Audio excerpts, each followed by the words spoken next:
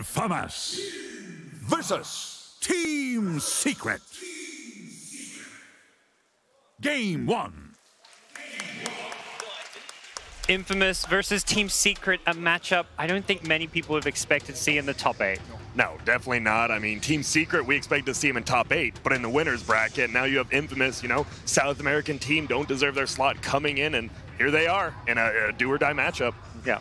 Gunnar, you know a lot about the South American Dota players and seeing you play against all the time in pubs. What is it that's made Infamous so scary, so strong here at TI? They they trust themselves like OG did last year. They are going to give Hector his comfortable carries. They're going to give Chris Luck his comfortable mids. They're they're playing around each, other really well. They play a similar style, I think, most of the games. They kind of play this 4 protect 1, super hyper early game with their four heroes while Hector hits the jungle. Eventually, Hector's going to stop TPing into his tri-camp, and then he'll show up to fight. Yeah, it's even a little different than 4 Protect 1, right? Because Hector is usually just on the opposite side of the map. So usually you think 4 Protect 1 like they're sitting behind him, but he's just completely somewhere else on the map while Chris Luck's running around. You're like, what the hell is this dude doing? We can't kill him. And it, it's it's insane because you do know what they're going to do, and teams still haven't stopped it yet. What would, what would you guys say like the weakness of Infamous is, or like how should teams be trying to approach this unique style that they're bringing to the table? I think they have some really strong picks that they're really comfortable around, and it's kind of a little night and day if they don't get their comfort heroes. Like uh, the Enchantress and the Wraith King are the two biggest ones, I think, for their team. Yep. I mean, Wisper, right? Uh, people can say who invented Enchantress, whatnot, but Wisper was the one, like, one of the only people playing it in the qualifiers, and then it comes here, and all of a sudden, people said it wasn't strong in the first couple days of group Yeah. stage, and then just main stage, like, oh my god, she's unkillable. I was casting CS qualifiers and would tune into NASA at the end of the day and we're like, what are these idiots banning Enchantress for? No one's touching that hero over in Europe. These guys don't know what they're doing. And it's crazy, right? Because it's not a BKB piercing stun, but the damage, like Enchantress destroys through the BKB because of impetus. Well, here we go. Early picks coming out. Infamous are going to get their hands on a first pick Magnus. Some of those key heroes you mentioned, Enchantress and Wraith King, both banned out, Gunnar. Yeah.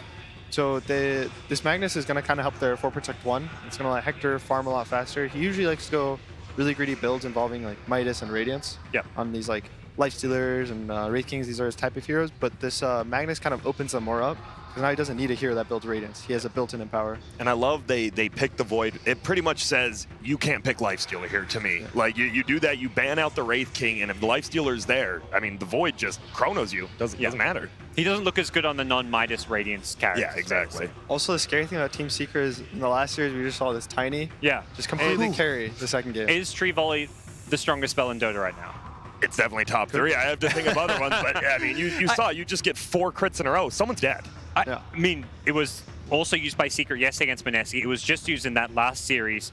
Late game, what do you do against it? It feels like on a 12 second cooldown, there's no response to Tree Volley. the the only issue with it is like the amount of trees you have around you. But in most like situations late game, you win the fight with one or two tree volleys, and you don't care about more trees. Yep.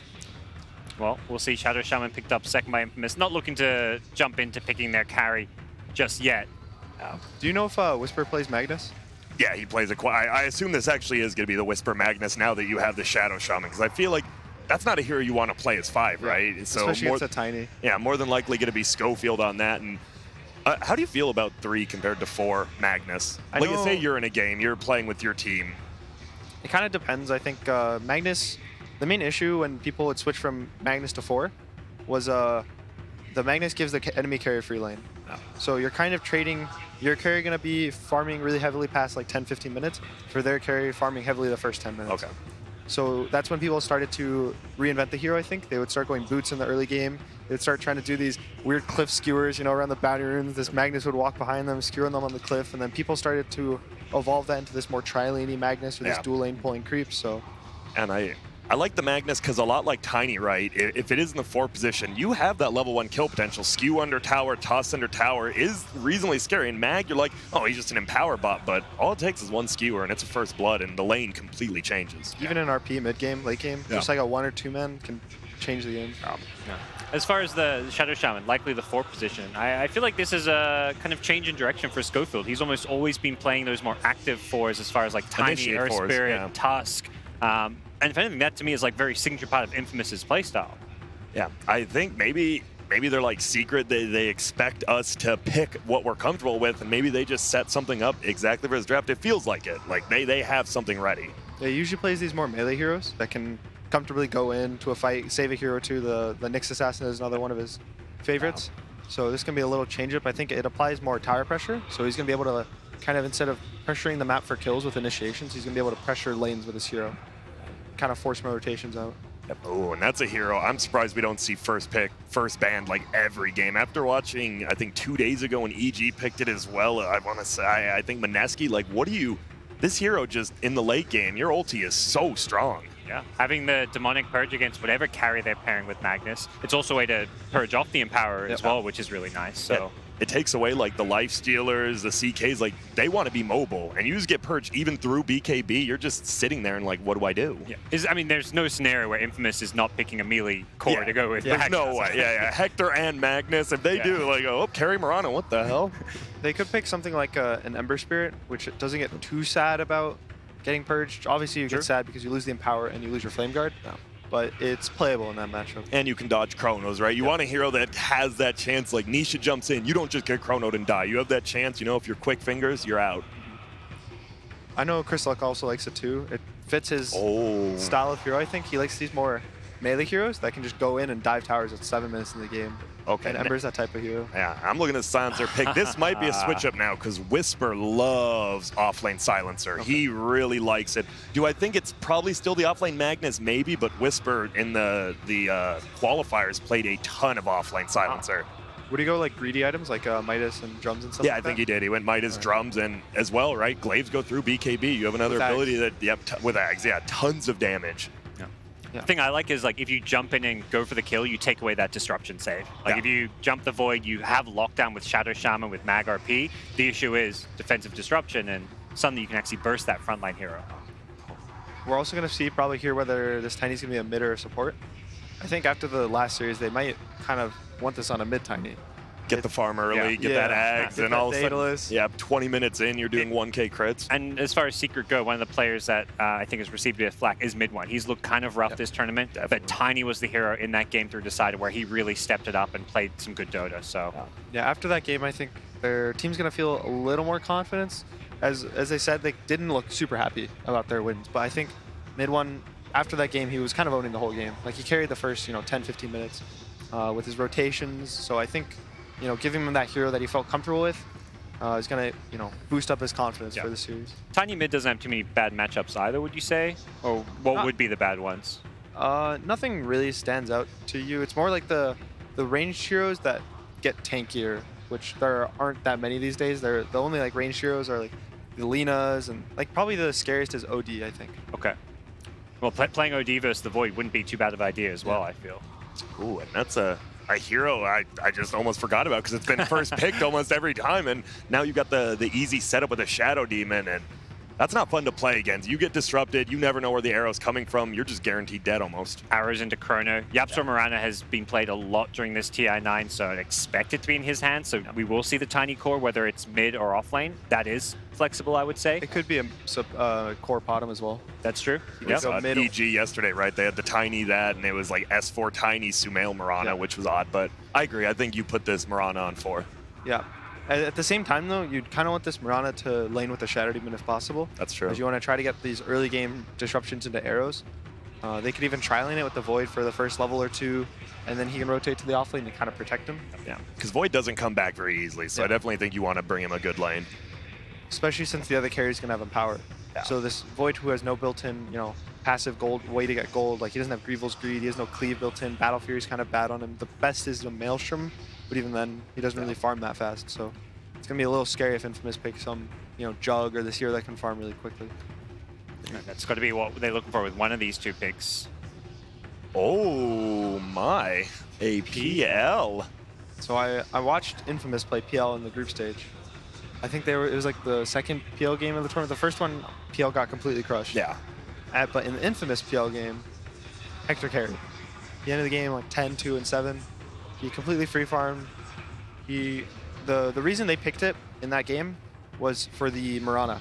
They lane the PL versus the Mirana Shadow Demon, Yeah. and if he gets disrupted, he's able to doppel walk out. Yeah, and if they- his support gets disrupted, he doppel walks and puts an illusion in front of the arrow to tank the arrow for him. and it's nice you talked about Ember, right? PL also, if the, the Void goes on you, you have a way to dodge the Chrono, which is always nice because you're just gonna die if you get Chronoed. Or they don't even know which one's the real one. Yeah, And playing Void without BKB versus like Diffusal Manta, you very quickly lose your entire mana pool. So That's going to be a tough situation for Secret if uh, you get any stuns or lockdown, burn through the Void's mana pool. Yeah, and it's not even, I mean, right, you wanted a hero who's decent versus Shadow Demon, whether it's a five, whether it's a four, like, you don't want to be picking these Svens who just get kited the whole time, and PL does a lot better against that. The issue is, is that if he ever gets an illusion, the Shadow Demon's gonna also have a Yeah, kind of that's not armor. fun, exactly. Yeah, he's gonna be you know 10 FPS, 30 PL illusions, Oh, 15 on each side. I Help don't know what me. to do. I, I kind of want to ask, like, what are the last picks for Secret to deal with PL? But they've also already got Tiny. Like, Tiny's a decent bad, yeah. answer, wouldn't you say? Yeah, it's pretty good. The Void as well. If he gets late game, he is going to usually have a Maelstrom. If he really wants to be greedy, he can go the Battle Fury, which will help him scale a little more versus the PL. But late game, whenever he chronos the real PL, it doesn't matter about the illusions. You just kill the real PL and the fight's over. So I'm gonna look for. I think still the Ember is probably one of the top picks for Infamous right now. It kind of fits your playstyle. It works really well with the Magnus. But it does set up a couple Team Secret heroes. Yeah. The It last sets up time- the the OD, I think. Oh, sure. Yeah, yeah. I was going to say the last time Infamous had the Magnus, they actually earned a Monkey King mid as mm. well. That's something we could see at, for Chris Luck. And that gives you a little bit more team fight, right? Like right now, I look at Team Secret, you have a Tiny and a Void, like you have the team fight. On the other side, you've got a Magnus, which is great, but you don't really see these Magnuses going in. He's more of a counter initiate hero now. And I mean, this TI, it feels like you get 30 plus minutes, you want the better team fight nowadays. I'd be a little scared of Monkey because he does have some hard lane matchups in the game. Uh, so if they pick it now, Team Secret I think still have the ability to flex. Yeah. This Tiny to a three, the bottom to a four, Shadow to a five, kind of run a tri lane, help the Tiny a little, and then you know they'll give MidOne this favorable matchup. Yesterday I think we talked a lot about giving MidOne a favorable matchup, and they weren't really able Yeah. to do it in the Mineski series. So his laning stage was. You know, it was really hard for him, I think. But in this game, if he does get an old, oh. Whoa, whoa, whoa! First Riki of the tournament has just come out. So, so back in the NAC, before Let's I hear left the TI, everyone started playing Riki mid. Everyone was saying it's the cool new thing. You have a lot of new HP regen. You have 5 HP at level 1, Yeah. right? Yeah. So the hero, the backstab works on denies, so he kind of tries to get the maximum amount of CS. You know, it's like the old Kunkka, where you'd be able to get every deny and every last hit. And it kind of owns these low armor range heroes. Like, I played a Invoker, Invoker verse it the other day, and I got completely destroyed. Last pick Earthshaker, but yeah, it's really okay. So Riki mid is what you're Riki, it you're is- It will be a Chris Riki Luck, mid, yes. he's a Riki mid player. Yes. Oh boy. This is going to be Spicy. some sp- And the be a thing fun is, game. it could be an Earthshaker middle as well, right? I think Yes. that actually deals very well with MidOne uh, did We don't it. know. Did he? MidOne yeah. did play it. Oh, man. I'm Whoa. excited. We have got a last pick What's Riki into Shaker. Riki is definitely the talk of the scene right now. But before we get our draft, I want to hear what Purge has to say about these two drafts. It's a very cool draft from Team Secret. What they did was they, in their first phase of bans, they banned out all of the comfort heroes for Infamous, and that's very, very effective to do against a team that isn't as uh, normalized in the pro scene. They might be going for heroes that they feel comfortable with. So when you ban those out, it's going to put them on the back foot a little bit. And on the other side, Secret also got probably the most contested heroes in the patch right now, core-wise, with Tiny who can abuse his Aghanim Scepter, and Void who can Chronosphere to combo that extremely well. So you can use these two team fight heroes and gank heroes to get tons of kills in the early mid game. But on the other side, Infamous does have the benefits of having Mag RP. They've also got the PL, which is going to be effective against Samurana, another really, really strong laning hero that Secret got. So from my perspective, it seems like Secret got almost all of the best heroes in the current meta, uh, according to this tournament so far. And on the other side, Infamous is going to do some typical wacky stuff, but with new heroes. So it's going to be an amazing match. Let's toss it over to the casters. Heavy is the head that wears the crown, and Secret have been wearing the crown all year long. But here at the International, they have been put to the test. And here in the lower bracket, they're going to have to match up against every young team that wants to be able to build their legacy, cement their immortality by bringing down the king.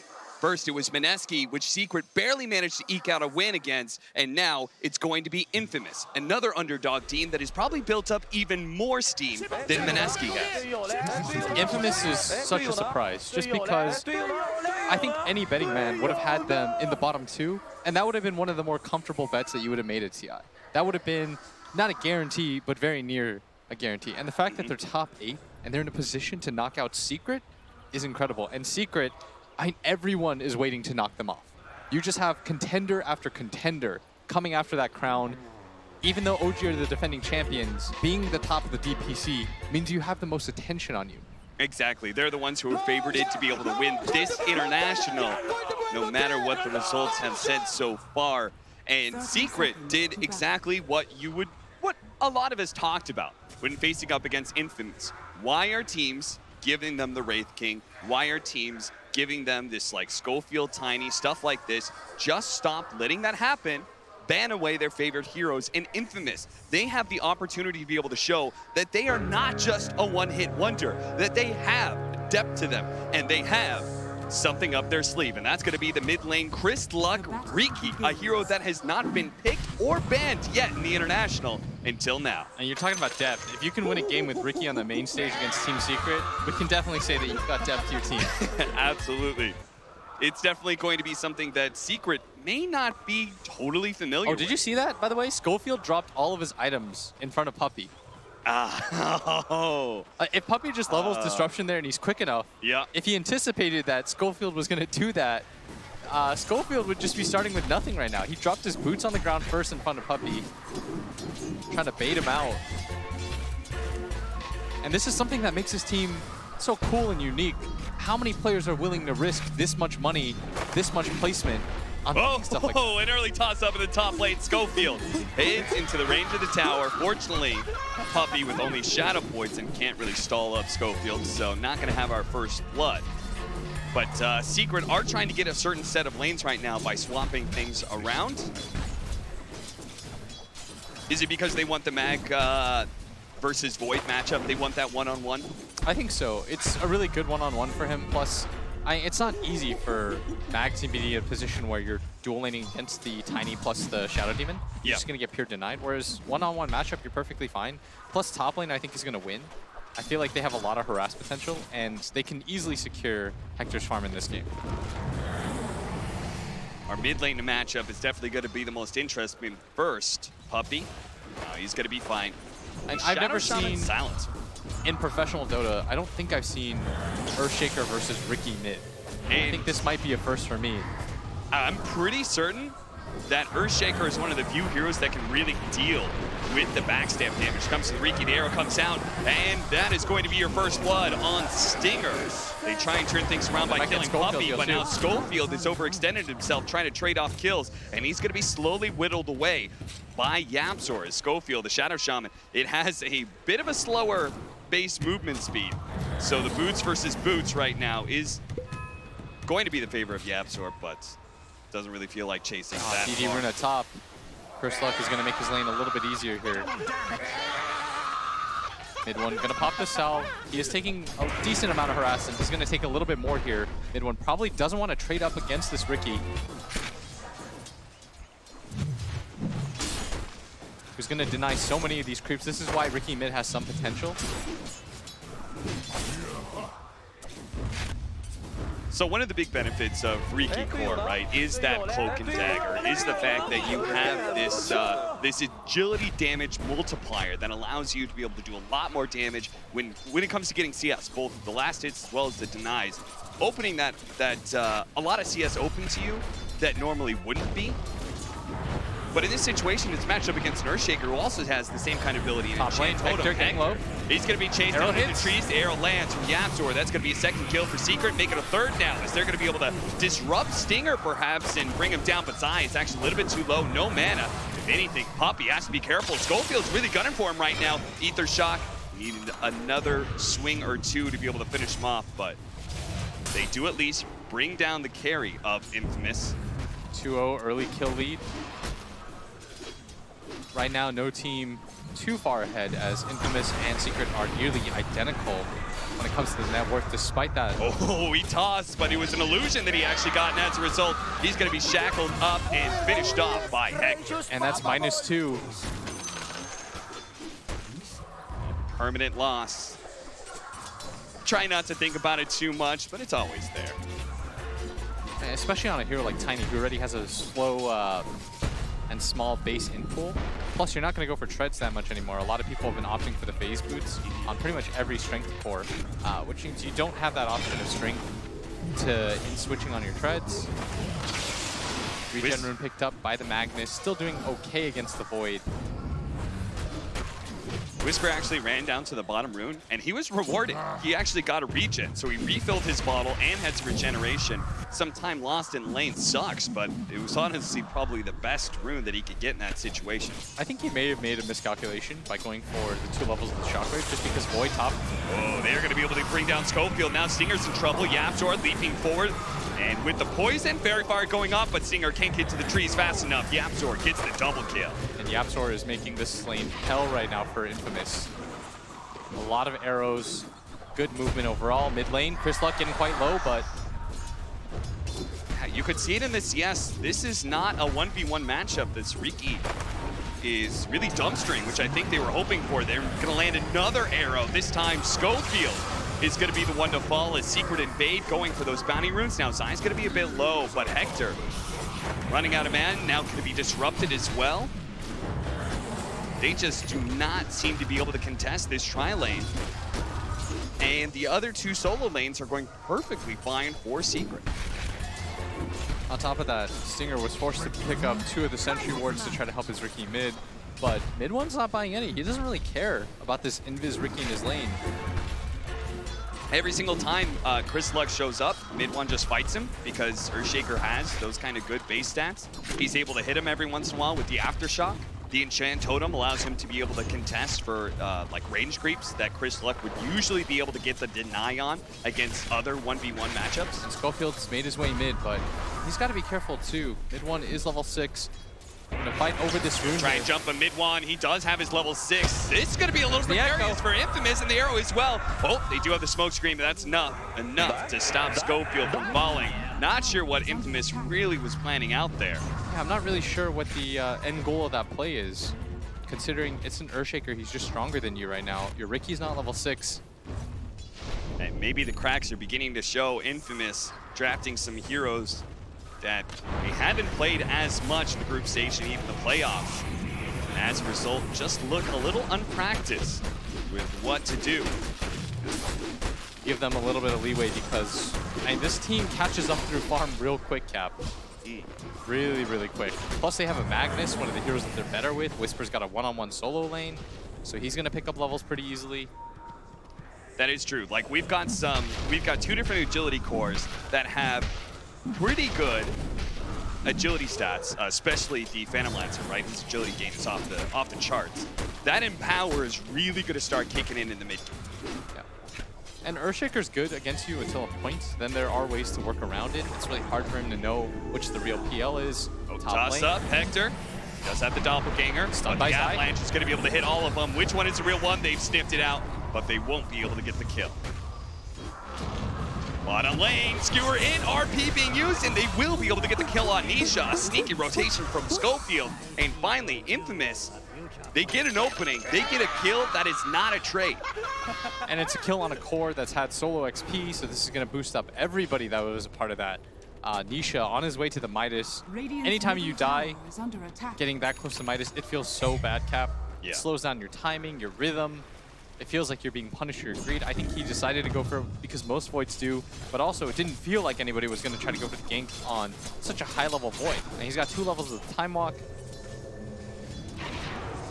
But with the Arcane Rune, he was willing to pop the RP there. MidOne's going to grab the Invis Rune. Might opt to start making some rotations around the map, as mid lane has been so free for him. Hector, one of the biggest things that everybody's been praising him for, especially pro players, is his proficiency at farming. And most of the time it's been on that Wraith King or Life Stealer, but here it's on a Phantom Lancer, which could be the hardest carry of the three. But we haven't seen a whole lot of Phantom Lancer. Why is that, Blitz? What, what uh, caused this hero to fall from the meta? I feel like he's just too slow. Uh, his teamfight potential really requires him to hit so many different item timings. There aren't a lot of carries nowadays where I feel like you have to wait for three different items before they feel viable at fighting. Yeah. And Phantom Lancer, part of the problem is you have carries like uh, Tiny that just get one item. You get an Echo Saber, you feel Yep. pretty good about fighting. Then his next item leads into the Aghanim Scepter, and you're even better. Whereas Phantom Lancer, you get a Diffusal, still not good at fighting. You need one more item, you get Manta, you're still squishy. You have to keep building upon your farm. Uh, and in this meta, it feels like everybody is so fast. Yeah. Even Faceless Void is considered a slower hero But the one thing is, you come with the best team fight in the game in Chronosphere. It can always save your ass, regardless of what position you are. Uh, and I feel like heroes like Void, heroes like Wraith King are just good because it's easy for your team to play around. Everyone knows the kind of playstyle that you want to exhibit. Whereas Phantom Lancer, his timings and how It's so he's weird. able to be in a team fight, it's a little, it's a little different. There isn't those obvious team fight wins. There isn't those obvious timings. It's more about the uh, the other four of Infamous being able to basically win fights and provide openings for Hector to then clean up with his Diffusal Blade, with all the chase down that Phantom Rush gives you. We're going to see a heavy rotation coming out from Secret for the 10-minute bounty runes. Infamous do the same on the other side of the map, but By the way- does grab one of them. So quick thing uh, to notice is that one of the best ways to deal with Riki, of course, is going to be the Force Staff. And as a core player, you don't love building it as one of your first items. But if you just take a look at Yapzor, because of the uh, sheer amount of kills he's gotten, and he's got pretty good farm to go along with it, he almost has it in its entirety. That's pretty crazy, especially since MidOne is going straight for the Aghanim Scepter. You would think that the smoke screen is going to be a good counter to him, but he can rely on Yapzor to get him out of that silence. This will be a very effective core pickup. Wisper is going to make a rotation over here. He's empowering up Hector. But what else are we doing? Trying to make a play to defend top? There's that Siege Wagon already dealing so much damage. Mid lane, they're gonna go for it. MidOne, he's definitely in trouble here with the Oh, combo of the shackles, wards, and the ult coming out from Chris Luck. He time walked into the smoke cloud, so wasn't able to instantly pop the chrono, which allows Chris Luck to reset. Get back into the fight. Puppey getting chased right now. You should know about this. What I really like about Secret is they place a sentry to go along with every one of their wards. Yeah, You saw that at the bottom lane. That's how Nisha knew that Chris Luck was coming. Uh, the downside of this, though, Cap, is it's going to really slow down everyone's farm. Puppey is used to being a slightly greedier five. You're not going to get away with it in this game where you're buying so many different sentries. Chris Luck is just trying to find openings anywhere he can. The power, and he's gonna try and go for Yapzor here, but double leaps gets in the way. Top tower is under attack. They're smoked up right now on the side of know. Infamous. They want to make the rotation up the top lane, but the tower's already dead. If they could kill MidOne, that'd probably be the biggest kill that they could go for, but he does have a haste rune, so they'd have to lock him down nearly perfectly. They're hoping he walks onto the high ground here. Maybe if he gets onto the low ground, Scofield's waiting. Wisper has the RP.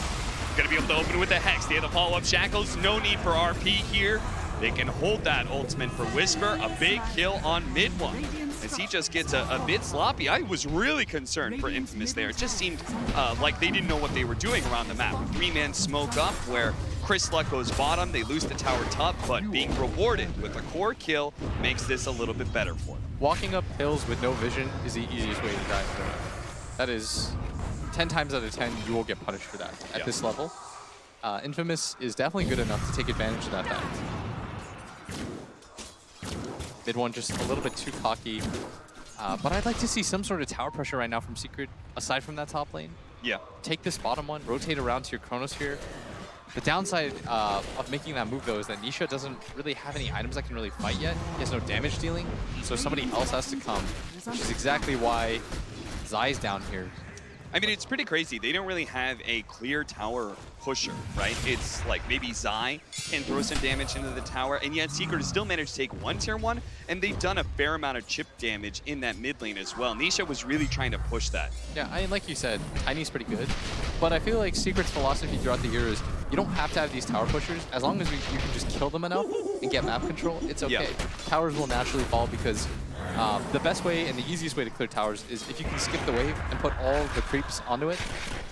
Puppey, top. Does manage to get off the disruption. That should be enough for Puppey to get away. Chris Luck. It, it just really shows. When Ariki is trying to move around the map, trying to get these kills without his diffusal blade, without any sort of slow, the smoke screen just isn't good enough. Stinger is going to be caught here as he tried to just collect a little bit of the golden experience flowing in on the tower push. Yeah, we talked about this bottom tower push. This is exactly what they needed to do. Even if you don't have the easiest ways to set that up, Wisper mid lane, gonna go on a MidOne. The wards have been dropped too. Shackles to follow up. Chris Luck with a blink strike, and that'll nab a kill for them. Unfortunately, without the wards, won't be able to put any pressure, and Wisper is in fact stuck Yeah. and has no way to get out. He doesn't have a TP. no phase boots, and he's just gonna have to hold this position. They should TP and kill him here, Cap. Yeah, 25 seconds. A skewer's up in two. The arrow's gonna It's nail gonna him. hit. He does have the skewer up. Asai's gonna go for the back line, tossing him into the Serpent Ward trap. He's gonna be shackled up though, and the Global Silence will actually protect Infamous very nicely. Zai, though, is still gonna die from the tricks of the trade. How did that go well for Infamous? I think Secret just got a little bit greedy about it, but Global Silence was honestly just perfect. It was, and Wisper, I mean, he wasn't meaning to bait there, but it works out for them in their favor. Yeah. Uh, six to seven, most of the gold lead coming from the towers that they were able to grab early on. And Chris Luck during this entire time. One thing about Infamous that really stands out is one of their two cores is Dire's always farming. is under. Yes. And this game, it's going to be Hector, while Chris Luck is the one trying to move Oh, around the map, make plays, but he's going to get chains done here. Shouldn't be able to get off the smoke screen or the tricks of the trade. They're going to use the Echo Slam to make sure he has no chance of living. And they know that Stinger's in this area because of the ward. MidOne gonna run into him. This should be an easy kill. Stinger doesn't even have Oh, boots and the right now. Chronosphere at the bottom lane as well, leading into the arrow, but Hector shows his face. They're not going to be able to get that kill. Back over the top lane where Stinger, I honestly just don't think there's a way for him to survive. No matter how much he jukes this, a Fissure and some Shadow Poisons is going to be enough. 6 to 9, Team Secret up by just a K. Chronosphere, just it's strong, of course, but without any damage items, when you go for this Midas build, you'll have levels. So you'll have level two Chrono, but Radiant's you literally don't have any attack speed. attack. Yeah. You need Maelstrom, you need Mjolnir. That is something that did kind of strike me about Secret's lineup. They don't have the obvious big nukes to throw into the Chronosphere early. Later on, you know, if they, they Oh, start then getting double Starstorm, they get the tree volley, tree then it's volley. insane. Invisibility. But early on, you don't have the absolute greatest. Most of the time, it's just going to be set up for an arrow, maybe some shadow poisons. Oftentimes that'll be enough, and Infamous don't Yeah. have that easy save. What this game, I think, will come down to is not really even the farm, but it's the initiation. If Secret take a good fight, they're the ones that started, they can just snap one or two heroes to begin with. I think that Infamous... Oh, the long range hex managed to catch him. Another Serpent Wards. The shackle's going out, the tricks of the trade, but it's just not going to last long enough. And last, no, Nisha does manage to get the time walk away. They're going to still try and chase him down. Chris Luck thinking about it, but that time dilation slowing him down. And that's three times that they've gone for it. Zai looking around the area, he does have a Blink Dagger. I do like how Scofield's using his wards just Yeah. aggressively to grab kills, doesn't really care about the cooldown very much. It doesn't even feel like they care about towers all that much. Top pressure is the first time we've really seen them try to do something about it. Yeah, Hector's like, I guess with Manta, I'm finally strong enough that I'm not scared of uh, any sort of solo kill. But even then, he's really not trying to push it too much. He could be there swinging at the tower. Instead, he's trying to hit neutrals, while most of Secret showing mid. I think Secret have realized, uh, as bad as we are at potentially taking fights or taking towers, Infamous is even worse right now. Yes.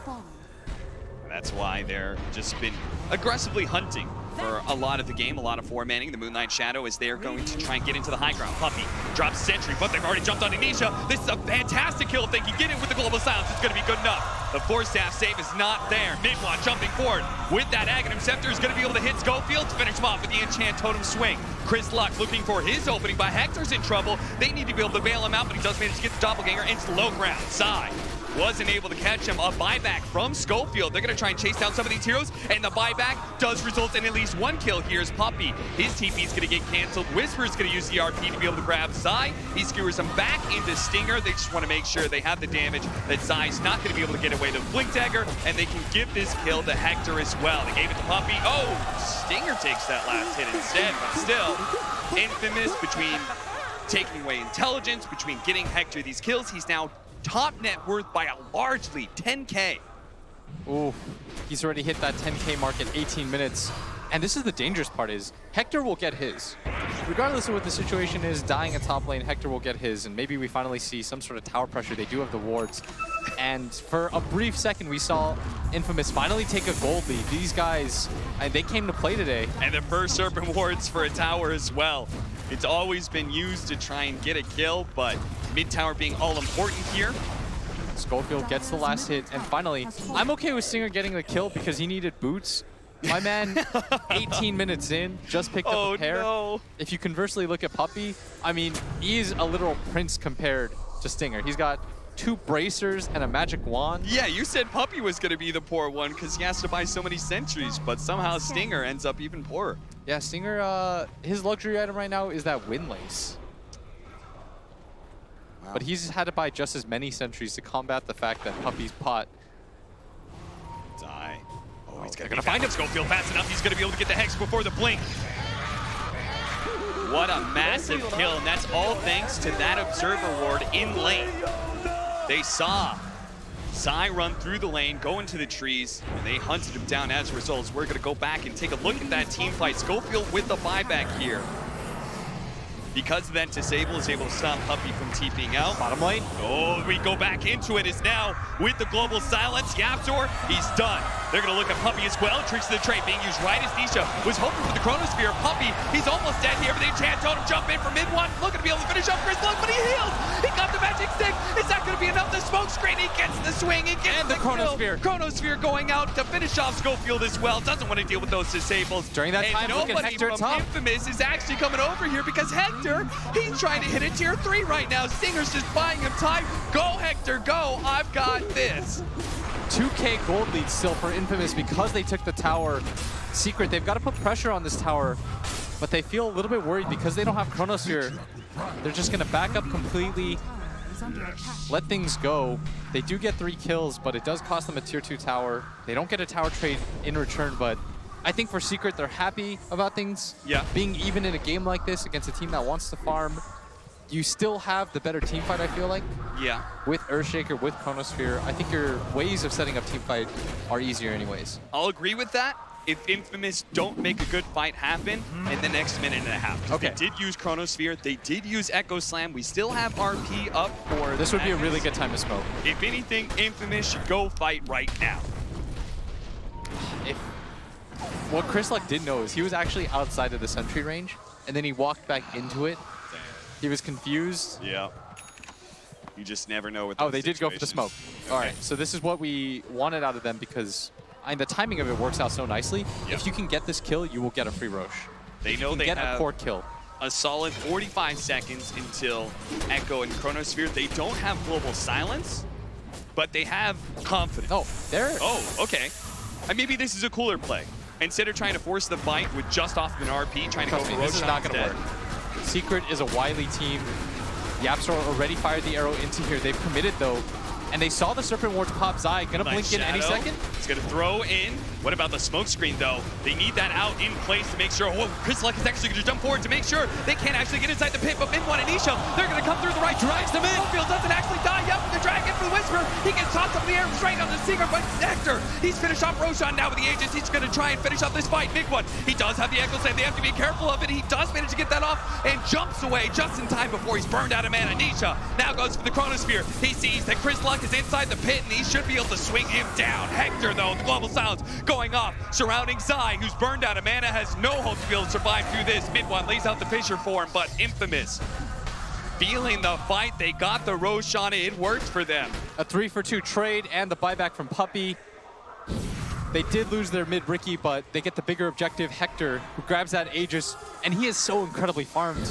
He has almost a heart. He's got a fully completed Manta and a Diffusal. We talked about how this hero could be a little bit slower in its build-up timing, because you're not looking for the one item timing, not even the two, but you need three items on this hero to feel comfortable, and he's almost got it at the 23-minute mark. Yeah, we're almost there, and that's where maybe some of the damage problems are going to come up. But Chronosphere may not be enough to finish off Hector anymore.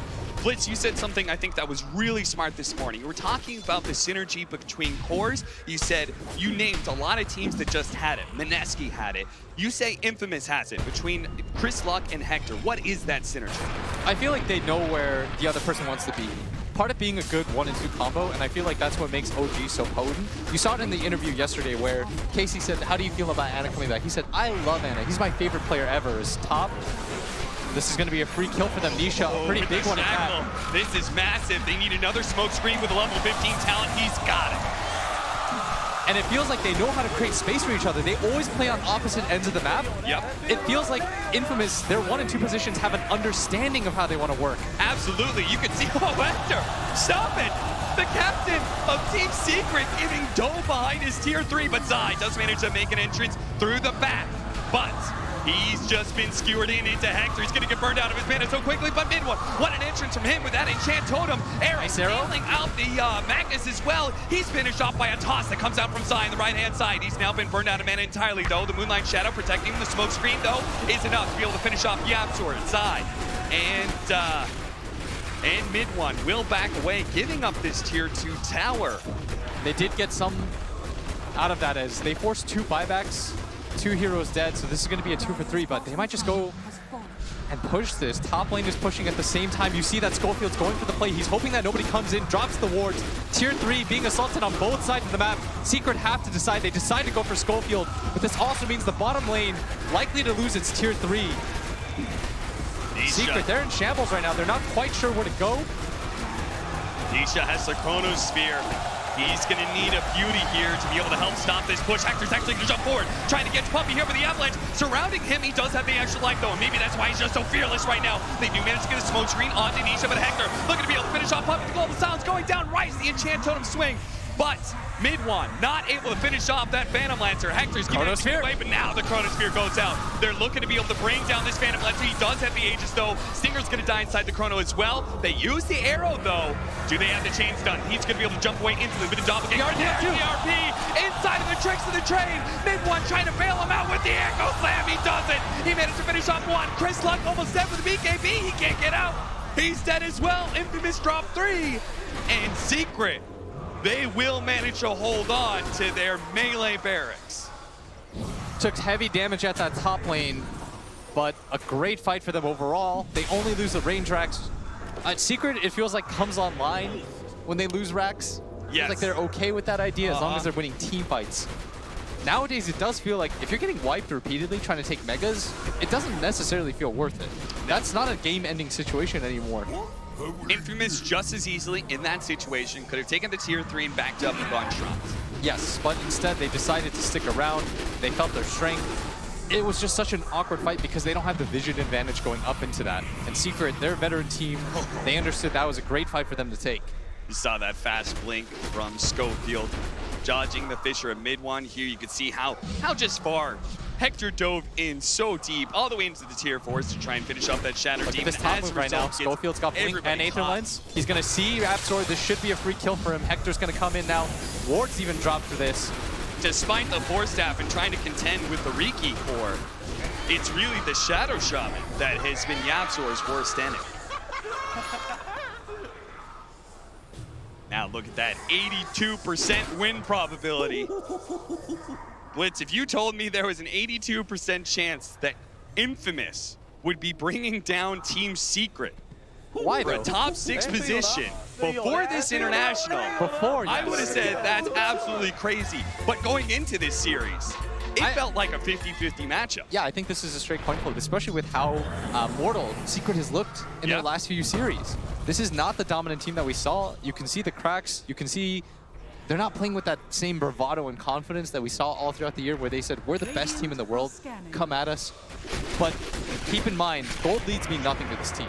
Yeah. Counting them out or waxing poetic about how good Infamous is doing doesn't matter. We can talk about how good Mineski did. Maybe you'll say they outplayed Secret for 85% of the game, but when it mattered, Secret moved on. Yes. 2-1, that's the only result anyone will care about.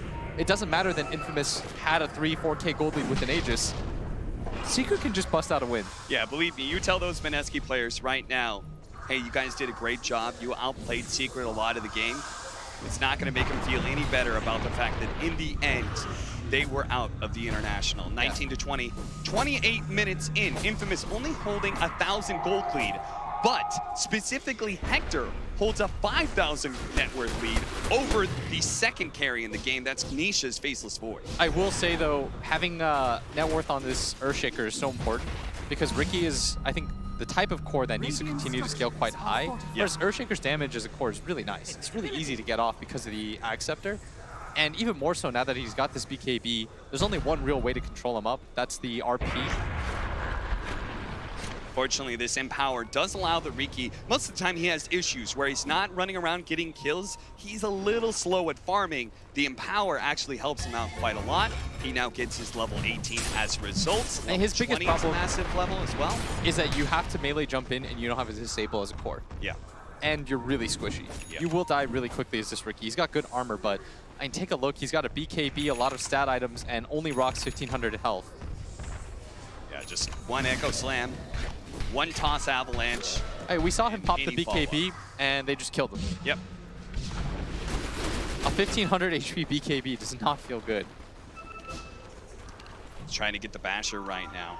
I wonder if uh, I wonder if an Aghanim Scepter is in uh, good consideration for him as well to be able to solve some of those issues. Just jump inside, whispers uh, Magnus. Yeah, and look at this aggressive pickup from Team Secret. They grab the gem on the Earthshaker. Uh, big fan of that. Feels like they're playing to win. Yeah. Like, not just against the Riki, right? But when you're trapped inside your base, you know they're going to have aggressive vision. You need to take that vision away from them so you can reclaim your farming spots. And 2k gold lead dips down to one, hovering around that area. Relatively even game between both squads. If anything, I'd actually give Secret a little bit of an edge because of the amount of team fight they can put out and how easy it is. Yeah. I actually feel like this Riki, every time I have seen uh, seen him as a core, it feels a little bit underwhelming because of the way you have to fight. Yeah. And Scofield, you will die for daring to go for that Arcane Rune. That was a terrible idea. Yeah. MidOne collects it for his bottle, and the Shadow Shaman has been a really big part of Infamous team fight in secret. They see that opportunity, a four position going down. That's an opportunity for them to take an objective. And look at this, they instantly know about the ward drop by Stinger. Yeah. They're going to deward that. That'll alert both teams that they know about each other's presence. Hector gonna come back. And Secret, after they grab this tower, they have to deal with that top lane, and that'll make it so that Scofield isn't pressured. Doesn't have the buyback anyways, but even if he did, because of this top push, it sort of just makes things even. I really like this boots to travel for MidOne as well, just allowing him to be able to deal with pushes like this, but still uh, be able to join his team. I mean, he's he's a like a great combination, right, of catch against this Phantom Lancer and the side lane pushes, but also he represents so much team fight. He can't be absent from his team. Hard up next, win for the echo damage against an illusion hero. And it's going to feel pretty value. Magnus looking for the RP immediately onto him. The smoke screen going out, but they still have the damage. As a toss tree as well as, man, Nisha's just not really getting the bashes whatsoever. They're just trying to Stinger out right there. now. It is going to be Stinger who goes down, but inside they have been one trapped. And the shots, the jab, the tricks, and the trade. Now Chris Luck looks to be able to get out there, going to be able to chase down Puppey. Who else from Secret is going to get caught? Scofield, he's trying for it. He's got the Blink Dagger, he's got the Shackles. He can dodge the arrow, try and get the Hex off, even with the Lotus Orb. It doesn't matter. Just stop Zai from being able to blink away, and he does it. Hector gets on top of him. Look at him. He's just sitting on the high ground. He's going to try and go. Scofield right now. Does manage to get the arrow onto him, but immediately a smoke screen. Now it's Skewer back. No Wisper gets stunned up by Midnight. has RP, He's no. gonna be able to get that. The Echo Slam and the volley as well. They rain damage from above to be able to finish off most of Infamous. Mass buybacks coming out. They're trying to save Hector. Half health. Doppelganger away. MidOne. Jumps into him now. The RP. The RP. It doesn't hit MidOne, and that's so bad. He managed to get off the Fissure, and that's done onto Hector. The arrow is out as well. He nailed the volley. Volley. Finished off. The support of Infamous and Team Secret, a long, drawn-out fight. And Roshan is up. That looks so good for them to start. They got the kill on the Earthshaker. They recovered the gem, but they just went for a little bit too much. And that's that discipline that this team, it lacks at times. And Secret, I mean, they have that experience. They know how that fight's going to look if it goes on for long enough. I mean, I just can't believe they didn't just leave Zai behind. Nisha opting to go back in with MidOne buying back at the same time and TPing in. It turns the fight around humongously. Look at him. He jumps on to Wisper right as he was about to get the skewer into the smoke screen. And That then such a sick echo right there. If they get RP'd in that situation, Secret have just bought back and lost the game. And this one too, the RP not, the skewer and the RP not catching MidOne. He gets a Fissure out, so there's no damage onto the two that get controlled. And now they're going for the high ground, and this is why, in Secret, they don't care about the gold leads. All it takes them is one fight. Yeah. In these positions, Mineski learned that the hard way. This team is scary because they will find a way to win. It won't always look the prettiest. But they always have. It's like the old EG where you always have the team fight, you always have the ability to, to win the late game. Yeah, it just makes your early game look so weird. which is Yeah. something I, I've been thinking about Secret for a while. Uh, it feels like they can't really play that mid-game tempo like, like they like to, Uh-huh. but they'll hold the high ground great, and there will come a time where you will make a mistake against them, and you will falter. Yeah, because it's so easy to misstep. It's so easy to get a little bit too aggressive and get countered by buybacks. Because no matter how strong you are, if it ends up being a 5 versus 10, you're just not going to win that. You're going to run out of damage. You're going to run out of cooldowns. Yeah, that's why mana. after we saw the win percentage, I thought it was actually in Secret's favor. Yeah. Uh, in fact, I thought it was like 70-30 them. I think that's what I said. And they're going to grab another kill here. Nisha, he has more than enough damage to kill Chris Luck. And this team, they're starting to fall apart a little bit. I mean, at this point, Chris Luck just can't show himself anywhere Yes. around the map. 1800 health with the BKB. That does not protect him. The 25% backtrack again for the Faceless Void. Nisha continues to run this. I think he, we saw him do it in the uh, group stages. It's pretty well. value against illusion-based heroes. Yeah, for sure. Slowing down the damage. It's even better than Butterfly because there's Yeah. no way that you can deal with it. It's not evasion in that sense. Yep. Zai. Top lane, He's looking Scofield. for an opening. His smoke is going to break, so he should know, or unless he thinks it's the tower. He thinks it's the tower. Looked like he was walking in that area for a second, but uh, does know Hector, for as farmed as he is, he needs a pretty big RP to set fights up for him. They just need their disables to be able to live. Scofield's ping for him right now. He wants his team to come in. Both teams actually know about this. Yeah, but it's so hard. Oh, he managed to get the shackle on his eye. Here comes the arrow, the Fissure out as well, but he didn't blink anywhere. He does manage to get comboed off Wisper with the skewer backwards. Both BKBs going down. There's where the RP is with Global Silence on Anisha right now. Mantis up. He's going to jump for Scofield, and he does have that cheese, so he's going to be in fighting shape. But inside of by. Wisper. He's trying to finish off the eye. He does manage to get one, but MidOne stuns him up. No, the BKB Hector. He is able to doppelganger away. Chris Luck with his own BKB who's trying to go for the back line. Does manage to get a bit of bash on MidOne. Mid one, low on mana. Does have enough just to be able to make one jump away. Chris Luck really wants to hunt him down. He's got the blink cast range too. If he can actually just get the vision, that's going to be opted by Scofield. First to Hex, now the follow-up. Chris Luck with the smoke screen slowing him down. Nisha coming back, in here to time dilation. Does have the Manta. Hector though wants to be able to burn him out of his mana as fast as possible. And Nisha has just enough to be able to time walk away, but Chris Luck's not going to let him get out. He managed to get the bash there, controlling him up, and it tricks the trade. The carry of Team Secret falls, and now maybe even a little bit more.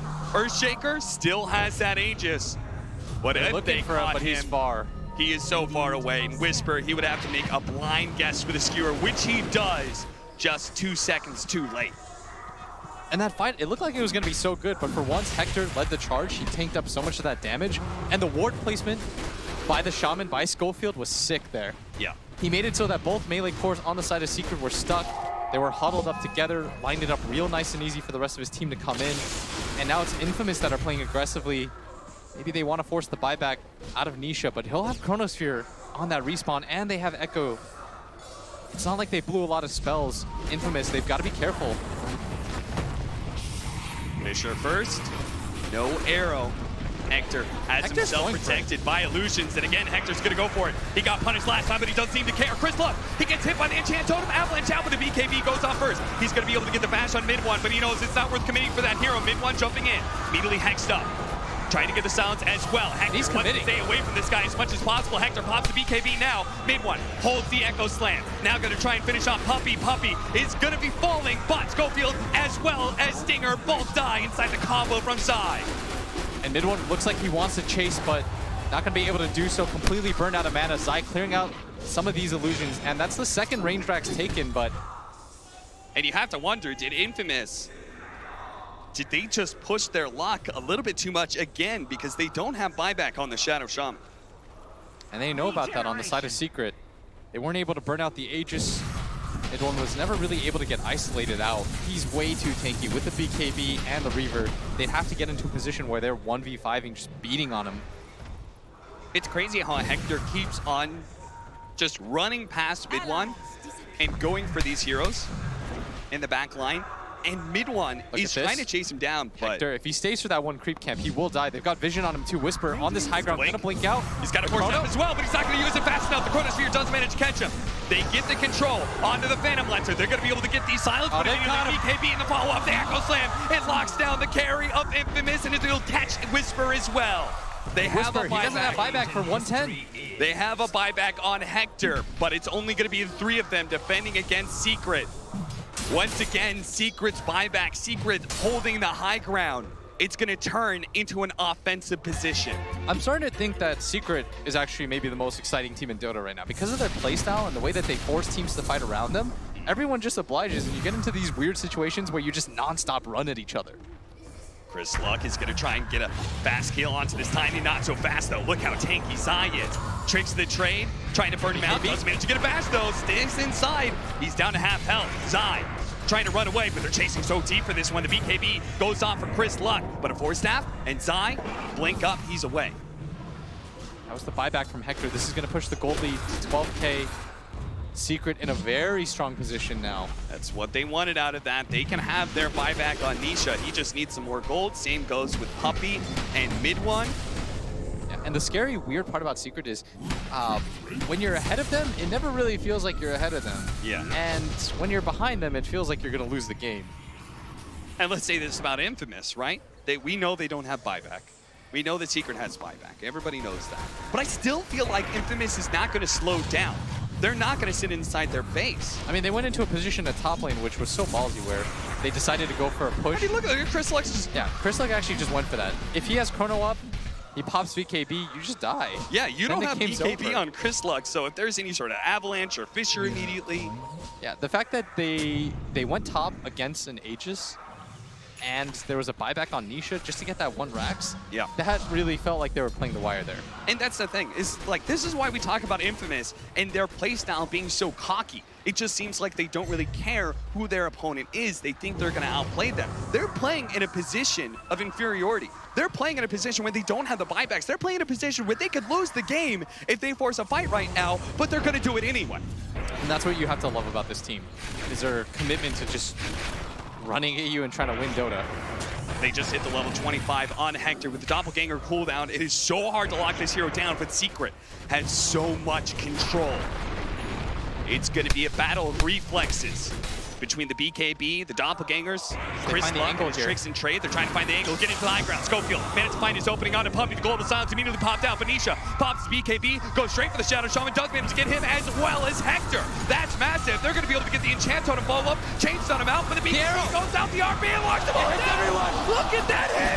Wisper, can they finish him off? The ankle save goes on, and Hector says, no. That's not my fight. I'm out of here. Stinger's dead. They're just going to try and chase down the rest. It's going to be Chris Luck who falls as well. Stinger and Chris Luck, they do have buyback, but Hector, he was the one who could not die there. He was the one without buyback, and he does manage to get out safely. Oh, that fight, it looked like it was going to be okay for Infamous, but Secret, just too tanky, MidOne, 3,500 HP and a BKB. You're not taking down this hero easily. I mean, is Hector, are, are they getting the Empower onto Hector? It just feels like when this RP comes down, he just doesn't do any damage to them. Uh, no, I don't think he had. He definitely did. Has fallen. I mean, he doppelgangers away. That's going to tear a lot, but They just don't have the damage right yeah. now. Even with the awards with Ags. Secret, resilient again.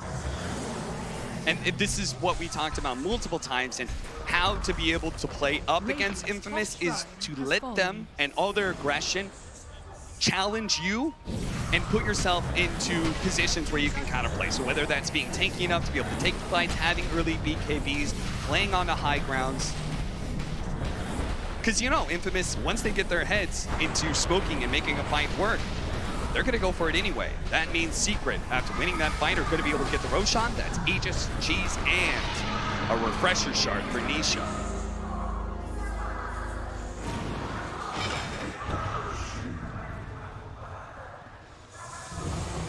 we have any other big level 25s that just got picked up? We have the Avalanche cooldown from Zai's Tiny, who has the Crystalys, soon to be Daedalus. So watch out for that tree volley, especially on top of the Chronosphere. And there's a Hex on Yapzor who is been an absolute fiend in this game. Another item, more Satanics coming out for Secret. MidOne's gonna grab one too. Dude, there's so many instant disables for like the disables that can come from outside of vision as well with like Fissure and Avalanche. Infamous have to be like super trigger happy with the BKBs. I love, by the way, how aggressive MidOne's been in this game. Yeah. We said we, he needed these kind of games. He had one yesterday. This sort of just builds on it. These are the kind of games that build your confidence. Uh-huh. rework yourself because I think even he would admit he feels like his performances are probably a little bit underwhelming. But the last two, I mean, he's coming in clutch. His team fight in these games have been insane. That one fight that probably determined a lot of how this game looks, where he bought back, hits the three-man echo. Yep. Hit the echo, doesn't get hit by the RP. Like so many little things he did right in that. Yes, he should be absolutely commended for that. The smoke up from Team Secret. They're going to sweep through into the triangle here. They can catch anybody from Infamous. It would be massive. It's right as Infamous probably have one more good fight in them left. Stinger. He does have buyback, so he's going to be the one caught by the smoke rotation. Gonna walk up this area, the rest of them. He could buy back, but he doesn't have a shrine to connect to the rest of the team, so it looks like the smoke just not gonna, it's not gonna work. Yeah, Infamous are very likely just to pick up this bounty rune. Pick up this bounty rune. Okay, trying they're, to bait- baiting the bounty rune. Yeah, they're trying to bait the bounty rune, hoping that one hero comes in. Uh, the idea behind it is that everybody goes, Secret feels like they have control of this area, they grab the bounty rune, Yeah. And they just send one hero to do so. But I think Secret, they're smart. Don't walk up into that area where you don't have vision. Just go into the high ground right now, and Secret will know that this was a trap. What's a bounty rune really going to mean if you can go high ground and force a buyback out of Stinger right now? That just means the next fight, you just easily retreat and try, oh, look at this fast play coming out from Scofield, trying to make a sneaky little Serpent Ward trap, but gets caught by mid one. And add another, oh, now the Chronosphere coming out. Nisha's going to be left alone, but he's one-on-one against Chris Luck, who, uh, I, uh, at a loss for words, he was so far forward. Yeah, the rest of his team got the message. They're like, let's hang back. And Chris Luck just decided, I'm going to step out. Dies almost instantly. Okay, well, now, now there's uh, another hero without buyback. Scofield and Chris Luck just dying back-to-back like that means Infamous left in a precarious position now. They do not have buyback due to gold on the Shadow Shaman. And same actually goes for the Riki. So if anything, Secret are probably just going to be a little bit timid, thinking maybe there's going to be buy some buybacks coming in, but very rapidly they realize that this will be two lanes of barracks. They can't go for the Megas because of the tier two bottom. They have to be careful of Hector though. He can certainly still do a lot. Nisha trying to heal up off the Satanic. Thankfully you can heal off those illusions as well as the creeps that spawn. And he also still has an Aegis, so Team Secret. So many different arrows being launched by Yapzor. He decided to go for the minus five second Sacred Arrow cooldown. He's just chucking those out, hoping that one lands.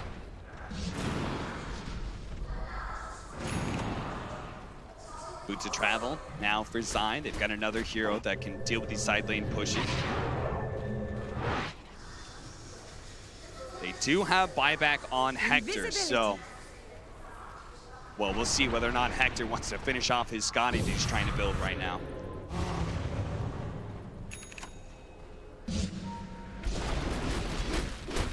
Is this game going to change anymore as we continue to go late? Because it seems like uh, watching these fights and such, Team Secret, the ease of execution, uh, the the opportunities that they have with so many heroes having an impact in team fights, it seems like they're just going to hold an advantage for the rest of the game. It's really hard to fight into them just because of the sheer amount of disabled that they come with. Uh, and this SD5, and he continues to grow on my list. Yeah. Such an effective hero. The disruption, it, it feels like one of those heroes, if you don't immediately kill him, he has so much team, impact in team fights. But he's not easy to immediately kill because he comes in with his own self-save mechanism. Yeah. And now that he's got the Ghost Scepter, they've got no real way to pop him. They don't have this magic damage burst. You don't want to have to all in so hard for that five position. They, We saw that in the game where Vici played, if you recall. Oh, they know. They know where Chris Luck is headed. They're going to drop sentries, seeing he's going to run blindly into the high ground. But Chris Luck has other ideas. He's going to push behind this tier 2 mid. Seeing if anybody's going to get caught while Hector pushes in that tower. And this is is crazy because. Secret, they're not actually just going to go for the Megas here. They're actually going to try and catch him from behind. That's going to start with Scofield falling. Now they're going to go into the trees. They're going to catch Stinger, who still holds his global silence. He does have a buyback if he can get the gold from him. The Enchant Totem after Enchant Totem just scouring the area. Finally does manage to find him. A jump forward, a tree volley out, but Chris Absol's Lock on the hunt right now. Does He's got the right away. idea. He does He's gonna run jam. into He him. just runs a little bit Oh. further up. He would have gotten the sight disable. A quarter of an inch up, and he has him there, but throws out the arrow instead. Had the right idea though, Yapzor. I, I just can't believe the number of times that Infamous, when they're down on buybacks, they're they're willing to push out like this. It's hilarious to me. It's like they just they always go for it. Yeah. Uh, and I think Secret is reading that. They're starting to. It's almost like uh, you know, prize fighter. He understands the movement. He's starting Yeah. to time things a little bit better, figure out the reach. They're getting used to the fact that Infamous is going to be in those positions. Just like that bounty rune read. That tree volley doing so much damage. What a terrifying ability this late into the game at 50 minutes. Hector trying to hold by himself right now while his two supports just need a little bit more time. 33,000 net worth lead for Team Secret right now. Over 20k experience as well as they're all hitting their level 25s. Even Puppey is closing in on his. Meanwhile, Chris Luck, I mean, that's a that's one of those 25 talents you really need, especially since he already has the Aghanim Scepter. If he could get the 300 uh, tricks of trade AoE, it would add a lot to these fights. Oh, Singer, one more tree, but doesn't manage to nab him. Hector. Having the balls to just push outside the base and farm. But Secret is so good about disengaging. They're not giving them any sort of easy fights anymore. No, they're not.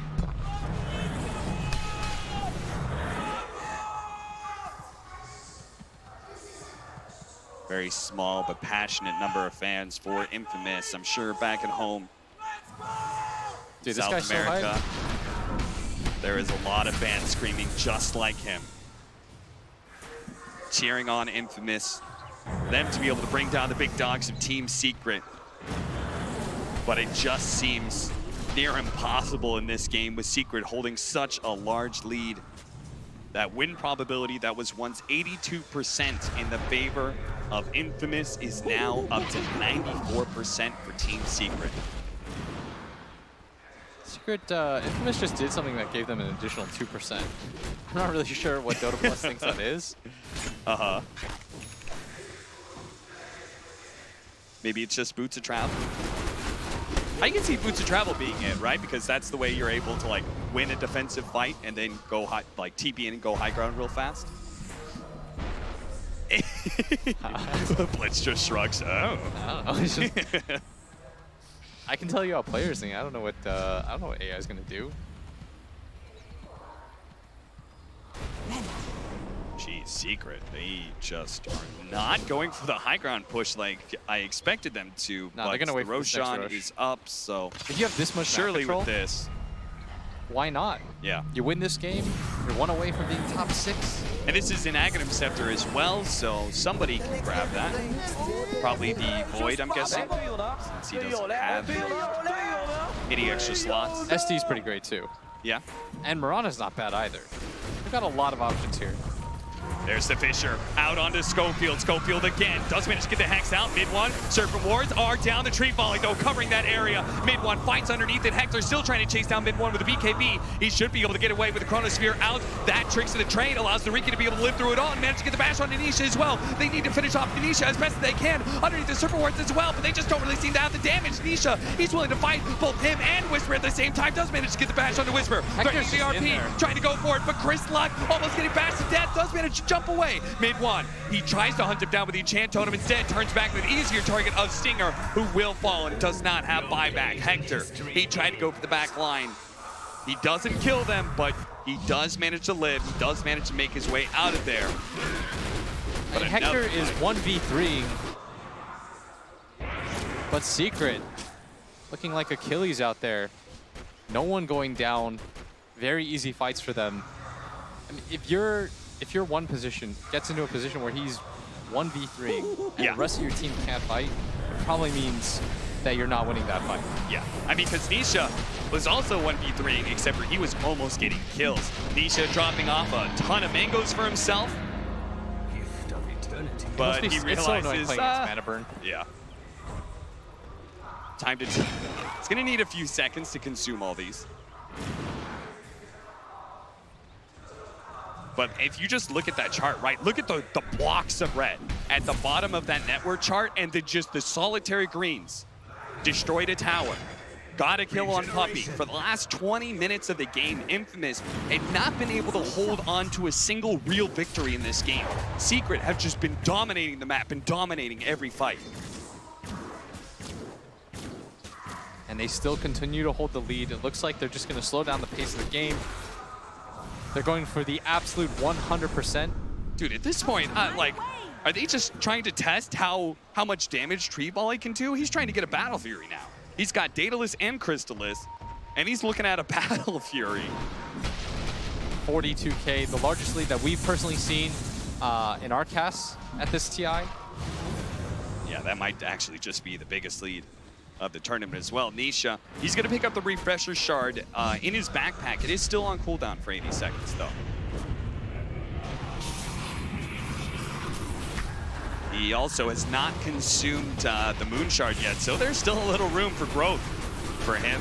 They're just going to keep throwing illusion after illusion of the Phantom Lancer to finish off this tier 3, while they also chuck out a bunch of arrows from the Yapzor, just hoping that they get that one hit that they need to provide an opening in the team fight. Feels like some sort of mini game where there's so much that they have to evade. The tree volley, the Mirana arrow. Chronospheres, the Enchant Totem jumps in. They're going to lead with the Chronosphere onto the mid lane. Chris Luck's in trouble, and they don't actually have a way to be able to save him, so he just dies like that. And not having a way to save against the Chronosphere feels so rough. they're going to buy back almost immediately, and there's no need, because they have the Aghanim Scepter, Secret can chill out for 40 seconds here. They're going to have Chronosphere up. That'll also be about the time the Refresher Shard starts coming off cooldown as well.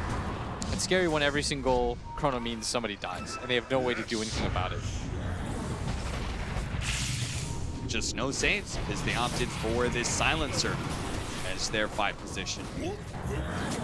Secret being so confident, they can keep on picking up all the bounty runes, grabbing power runes as well. You just never know where uh, double damage is going to change the fate of this game.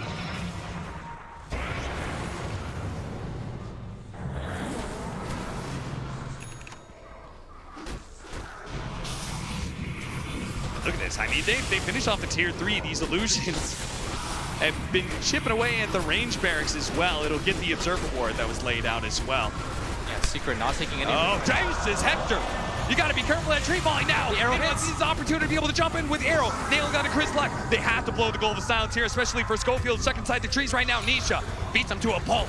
Inside the jungle, now drops the Chronosphere. Is going to go for the Riki, who does not have the buyback. tree the tree volley.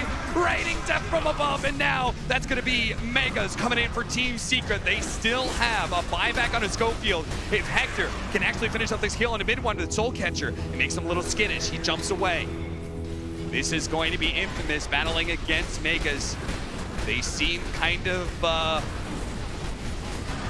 okay with this idea. They're not trying to just throw their lives away to beat back Secret. And they're just hoping for that one fight right now. Wisper still has the RP. Oh, does the RP does one, manage to though. get up with the force staff, gets him away. He was looking to be able to get the skewer into the fountain, but instead he dies. He's immediately going to buy back because Hector needs his help. He's going to be chain stunned down, though. Hector, can he jump away? A force staff, a doppelganger. He's a little bit farther, but the volley comes in once again. And Wisper, who just bought back, skewers back to the safety of the fountain. GG. But no buyback from Hector means there's no more damage left, even as Wisper finally gets that RP skewer. Look how tanky Secret is and infamous. They put up the good fight. They almost had a solid lead. They took two range barracks. They had an 82% win probability at one point, but Secret just continued to be that ultimate wall, that ultimate high ground defense. You think there's cracks, you think there's little openings, but it, oh, there's always a trap. There's always the buybacks to turn things around. Yeah, that one buyback play at Bottom River, that was so sick by Team Secret. Yeah. The way that they baited Puppey buys back first, puts them in a position they, they can't really recover, and that's going to be infamous. Going down a game early, Looks like Nisha learned not smiling. She's gonna walk back. Trying to keep his calm, trying to keep his nerves. It's only one series, game. The series is not over again. Who knows what's going to happen in game two? For that, we're going to turn to our panel. Don't smile. That appears to be the secret. Nahaz, really quick, kind of what is your take of that first game now that we've seen these two teams go head to head? absolutely amazing. I think you saw everything that we talked about from the strength of Infamous's early game to the ridiculous Dota that Secret played yesterday against Mineski. MidOne coming up huge now in two straight games for that team. Neil, how, how do you feel about these two squads? What do you think Infamous's best hope is in this series? I had originally criticized Infamous for being one of the least versatile teams in this tournament. Then they go out and pick a Riki who has not been selected at all in this entire tournament, and a least we didn't Phantom. Lancer. And I get it. I get it. We did see him though, and he lost. And we also saw Phantom Lancer, here that's not particularly popular at this tournament, maybe rightfully so. I mean, it does fit, though. If you think about it, it's weird, but if you were going to replace a Slark mid, Riki kind of fills that same role. You know, mobile, low HP core, but good laner, and then all of a sudden you're active on the map. And that's how Chris Luck likes to play. He wants to make things happen so that Hector has some time to get into the game. Deny mechanic. We talked so much about the refraction and tidebringer changes where these two big mids no longer get their free denies. Backstep still works. I I also want to ask, why is this hero suddenly popping up more and, and more in the meta? We, well, not not so much yet, but we, we heard not not at this tournament, but we, we kind of heard from Gunnar. It's something that he was starting to see more leading up to the tournament. What what is it that allows that to happen? Uh, it's hard to say. I think it's just the maybe the area control that a Riki provides. Um, you've got the ability to just kind of dominate a certain area of the map while you can just kind of make plays with these very cheap items. You saw the double Wraith Band into upgraded boots, natural like drums and diffusal buyer. Like you can get six slotted really quickly, whereas other heroes take a lot more time, especially with a slower meta like Midas Radius and so. Now, I know the other thing that you wanted to talk about, Kyle, was actually an engagement that went down in the Rosh pit. Yeah, of course. Um, we wanted to educate some of our newer viewers here at TI and just go break down how a fight around Rosh is theorized. The idea, you want to guard the pit, and you can see Infamous, they place their three sentries, the mag, sentries, of course, not being the ward, but the heroes. Boom. Arrow, Secret's completely aware this is happening now. They pop invis, they try and immediately engage towards the pit. Infamous, they've got all their damage inside. They're trying to rush it, trying to rush it. And if you watch just about here, they do what you want to do to defend the pit. You keep your core in the crease, killing the Aegis, and immediately collapse. You want to take out this choke point, and you're going to see why in a second. The Secret Heroes, they have terrain walking. The two cores, Void and Mag, they can come over the side. But unfortunately, the rest of the draft is stuck here. All their damage is happening in the river. PL's just cleared the Roshan, and now we can leap forward into the engagement. You can see the Echo is about to be forced by MidOne. This is useless. This is a PL with Aegis. We don't care anymore about damage taken by this hero. Worst case, you respawn. Now the Chrono comes in. There's still two heroes here outside of the pit, nowhere close enough to help provide damage. The silence, not even necessary but they clean up the tiny, they secure the Aegis. Just a very well thought out fight from Infamous, and unfortunately weren't able to close it out, of course, but they do certainly understand the mechanics of defending this objective and denying choke points. That was awesome. I, I, I just said that was actually awesome. I, we haven't gotten to do too many of those segments. You draw really fast. That was actually just really impressive. Thank you very much for that, Kyle. We have plenty of more stuff that's going to be coming up, though, right now. We actually want to throw it down to Casey. This one's going to be a lot of fun. I'm excited about this one too. So, as you've seen from some of our interviews already, we always do a media days interview. We spend a lot of time with as many different members of as many different teams as we can, sitting down, getting serious, getting to the heart of what the last year has been like. But at the end, we like to lighten it up a little bit. So, we ended this year of media interviews with what I like to call rapid fire. Show me what's on your phone. All right, rapid fire questions. What is the last text message you sent? This is very personal. Why? Why do you ask? I feel violated here. Let's not do that. Yeah, let's not do that. Well, yeah, I lost my shoes in um, Philippines. That was my last message. My Skechers. Fuck my life. April 8th. What? What's the last text message you sent? Like heart smileys to my parents. Good night, my love. A couple, uh, you know, kissing uh, hearts. Was that to Misery? Last text message. probably not for a camera. Can you paraphrase? Uh, I texted my mom. I said, I love you. Today is the last day for uh, my dog's medication. Cute little puppy. Who is the last person you texted? I texted a female. A female. Yeah. Who was the last person you said I love you to? Probably Zai. Uh, Aww. You know, mine's Yazid actually. My girlfriend. My girlfriend. My mom. What are your most used emojis?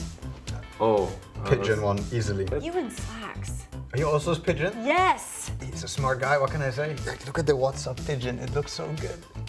That is terrifying. What about the heart emoji for your beautiful wife? Just heart is not enough. You're both romantics. Thank you. Poop emoji. The smirky face. The whimper emoji. Um, emojis have names? I don't use emojis. I'm sorry, what? It's only for your eyes. Kissy face, leg, poo emoji, eggplant. Yeah, a raccoon is there too. Pizza, pirate flag, pig, sheep, burger. Got it. Thanks for getting serious. Thanks for asking such great questions.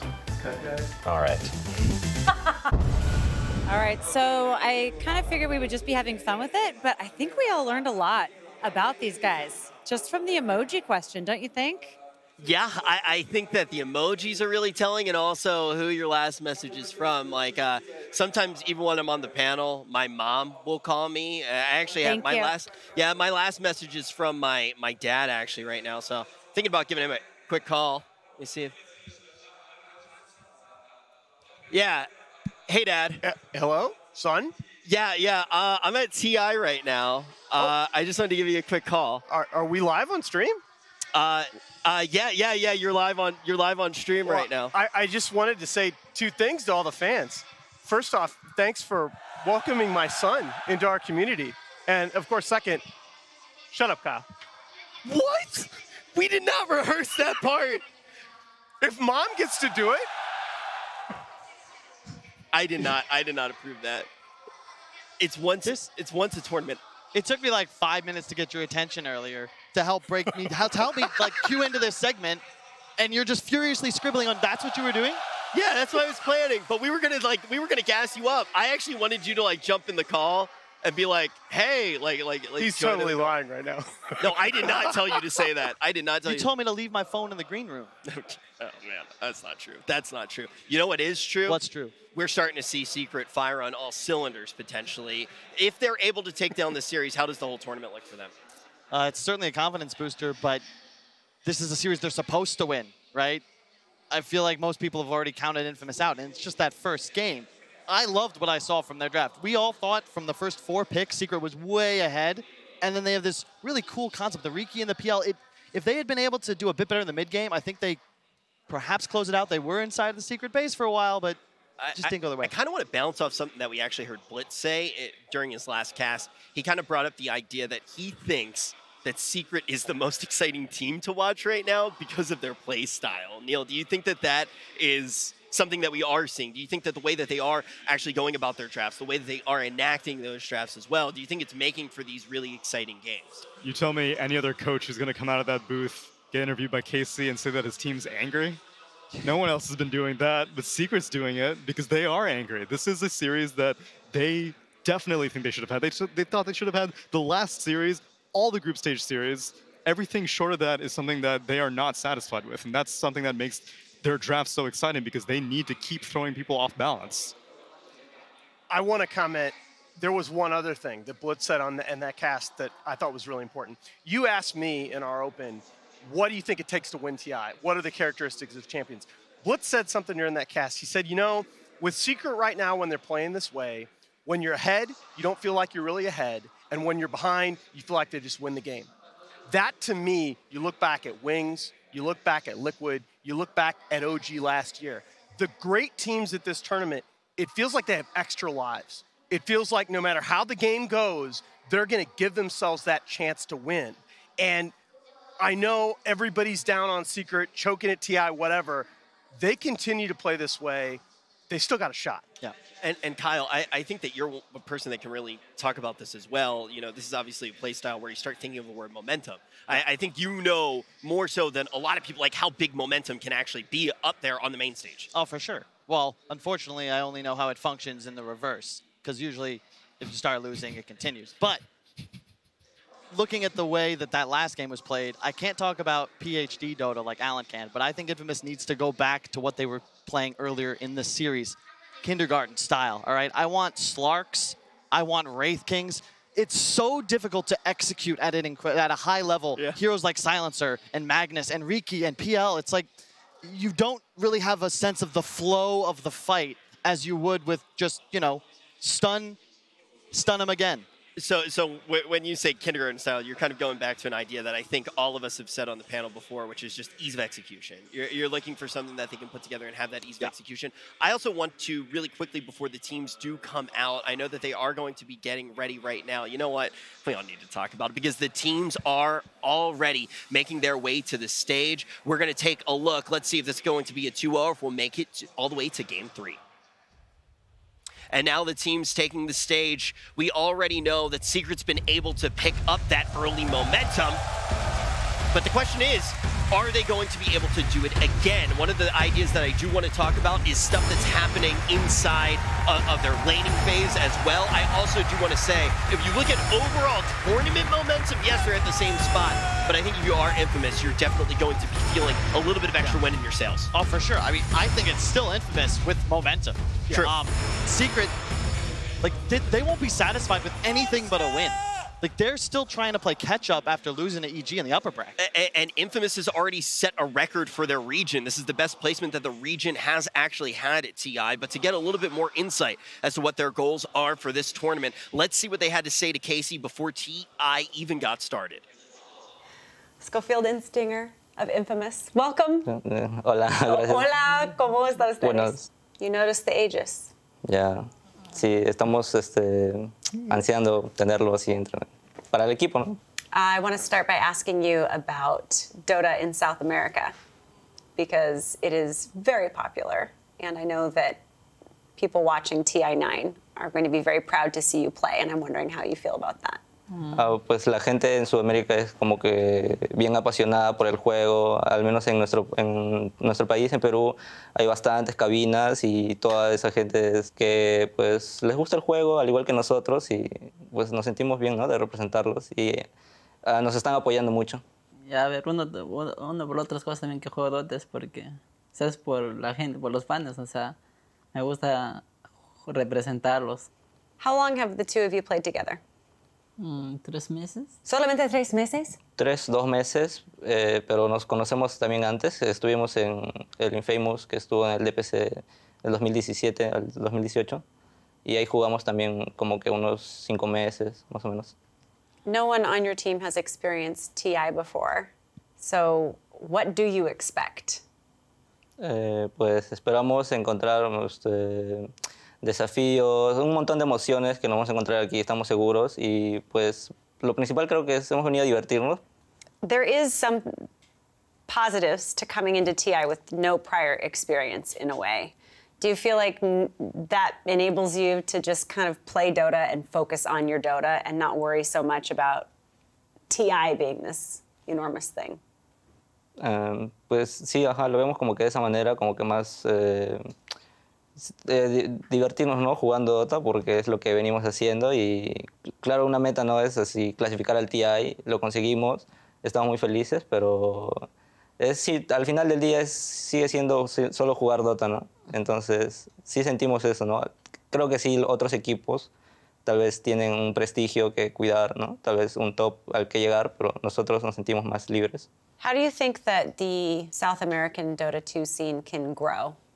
Mm, para que crezca la escena pro. Y, mm, yo creo que sería aumentar, no sé, los torneos para equipos tier 2, ¿no? De allá, para que los equipos se esfuercen más, para que haya más equipos. But you can still win. Anything can happen at TI. You've earned your spot here before we start group stage as one of the top 18 teams.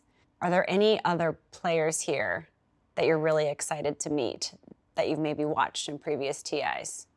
En personal como que, ya- como que ya los he visto ¿no? antes, entonces sí es bueno verlos de nuevo, eh, ver alguna especie de, de química que tienen otros equipos interesantes, como por ejemplo, no sé, a mí me gusta la vibra que tiene Liquid, por ejemplo. O sea, yo cuando jugué Dota no, no conocía que había buenos jugadores, o sea, jugaba Dota y simplemente porque era un juego nada más y crecí jugando Dota sin saber, sin admirar a nadie, o sea, simplemente jugaba y ya, se puede decir. O sea, no, no es que desprecien, no son buenos, ¿no? Pero Mm. igual no lo, no lo veo eso, simplemente juego, juego. Muchas gracias. Gracias. Buena suerte. Gracias. No hay más preguntas. Quiero más preguntas. Now, we keep talking about the achievements that these guys already have at TI and what they've done for their region, but I think one of the other things we do need to look at is this is just flat out the youngest team we have in this tournament. You, you hear a little bit in the interview that they're saying, hey, look, like we, we didn't necessarily grow up idolizing certain players. Yeah. But I do want to, and Kyle, you're the one who can answer this the best because you, you've, you've, you've kind of, you, you've beaten some alien lane before. That's true. now he admitted it on the bus. Is that why? it was like if you're in a, a, a moment like that hmm. a- and, you're playing against a player who has like all all of these big moments is that something that's going through your head that's something that we do need to be thinking about as we start looking at these teams right now in the next game Infamous versus Team Secret. Game two. Team Secret have continued their lower bracket run, up 1-0 against Infamous, the South American hope. What are we expecting to see Infamous change up now that they're down a game? Mm, I was listening to what Kyle said, and I, I, I mean, Wraith King just was go with the opposite, first right, ban. of Yeah, yeah kind said, of. I mean, Wraith King was first ban, so you can't really go back to that. And that Slark, I don't think you can ninth pick a Slark into like having a tenth open pick, Yeah. right? So it's that a little happened. bit They did that disagreement once in the group stage. I Yeah. think against RNG, they got 10th pick Shadow Fiended. Yeah. He got solo killed mid, and they lost in 14 minutes. Exactly, and that's why I think a hero like Riki, right? There's not. People just don't know how to counter it Yeah. yet. I mean, they tried the Earthshaker, and actually Chris Lucky had a pretty good lane versus it. They, they went back and forth. So, I I like I like their draft. I think a few execution errors lost in that game. So this is cool. They didn't ban the Ench, but they do a first pick on Secret. The So- expectation's very much that they would not give it to Infamous. Yeah, there. there it is. So s- Infamous is going to ban their own Ench to defend against the Team Secret Ench. Yeah. But all the other bands are the same. They're still trying to keep Infamous away from their core playstyle, this kind of Yeah. core protect one. Oh, well, Secret basically get an extra ban since they have first pick, so they get to take out the Magnus. So now Infamous are going to have to dig one deeper since not just their three best heroes, but now their four best opening heroes have been taken away. Yep. I almost feel like Infamous might be looking at something like a Shadow Demon because that denies a ton of Hector's heroes, I feel like. And if they have it themselves, obviously, then they can pick up this Lifesteal or this Sven kind of heroes he likes playing. That hero just denies a lot of Yeah, heroes it right really now. does. All the carry melee. It feels like it really does. Even like every strength hero, all these like Timbersaw, Bristlebacks, even Tiny, they lose 40% of their health no matter what. Yeah, yeah. And gods, you were t- you were on timeout. This hero like should be getting banned, I think but like where where do you put it in? Like obviously Ah. they think I mean maybe instead of the Omni or something, but Rubik- obviously you're scared. The thing, Tiny, you don't know where it's going to go. The flexibility that they can run at mid, off lane, or even four position, um, you, it's just so hard to play against. And when he gets that Ags timing, I mean, Tree Volley is just an insane spell right now. Yeah, even as a four, we've seen how much we can do this tournament. Yeah, you can still farm an Ag Scepter as a four. These games are dragging. You're going to get your Blink into... You can just go Blink into Ags and then get the Echo Saber afterwards. There's there's so much room for this hero to get farm. And there it is. I, li- I like it. Uh, another save if he can get it during the toss combo. In the early game, it'll save a core. Yeah. A lot of uh, you know damage for this Tiny. This Tiny's gonna have like 3k HP at you know 20, 30 minutes in the game, and 40% of that's just gone at the start of the fight. Do you want them to pick a core here? Do you think they will? Do you think possibly you go with your Hector hero paired up with that? Yeah, usually they've been picking their Hector here pretty early because his lane doesn't matter as much because his he's just gonna jungle anyway, like level four. So give him a bad lane and make space for him. That's where they play like Chris Luck. He'll usually have a good lane, right? He had the I think most CS by 10 minutes in, and then after that he doesn't even care. They'll just go over, and then Hector, that's when he starts farming. So I think we'll probably see that unless there's like a Wisper hero they really like. Is it really just like the Life Stealer that stands out as far as these heroes go? Oh, Wisper Hero is going to be picked up. Yep. I, I think Lifestealer as well as Sven we're both looking good here. I think they're both okay to pick up early, but they do go with the the Tide Hunter. Yeah, just a, you know, some team fight, a good laner. I, I know we talked about this hero quite a bit recently about how some people don't really like it that much. Uh, it gets picked a lot, and in some of the game it looks a little underwhelming. You have this like 25 talent that makes you really strong with 250 damage, so you can kind of scale to the late game, but it's kind of worrisome when you pick these two heroes that don't really have stuns. Yeah. Right, like Disruption's a soft stun, it's kind of a banish, and the Ravage is an ultimate, and you can't ultimate for every single solo pick off a game, right?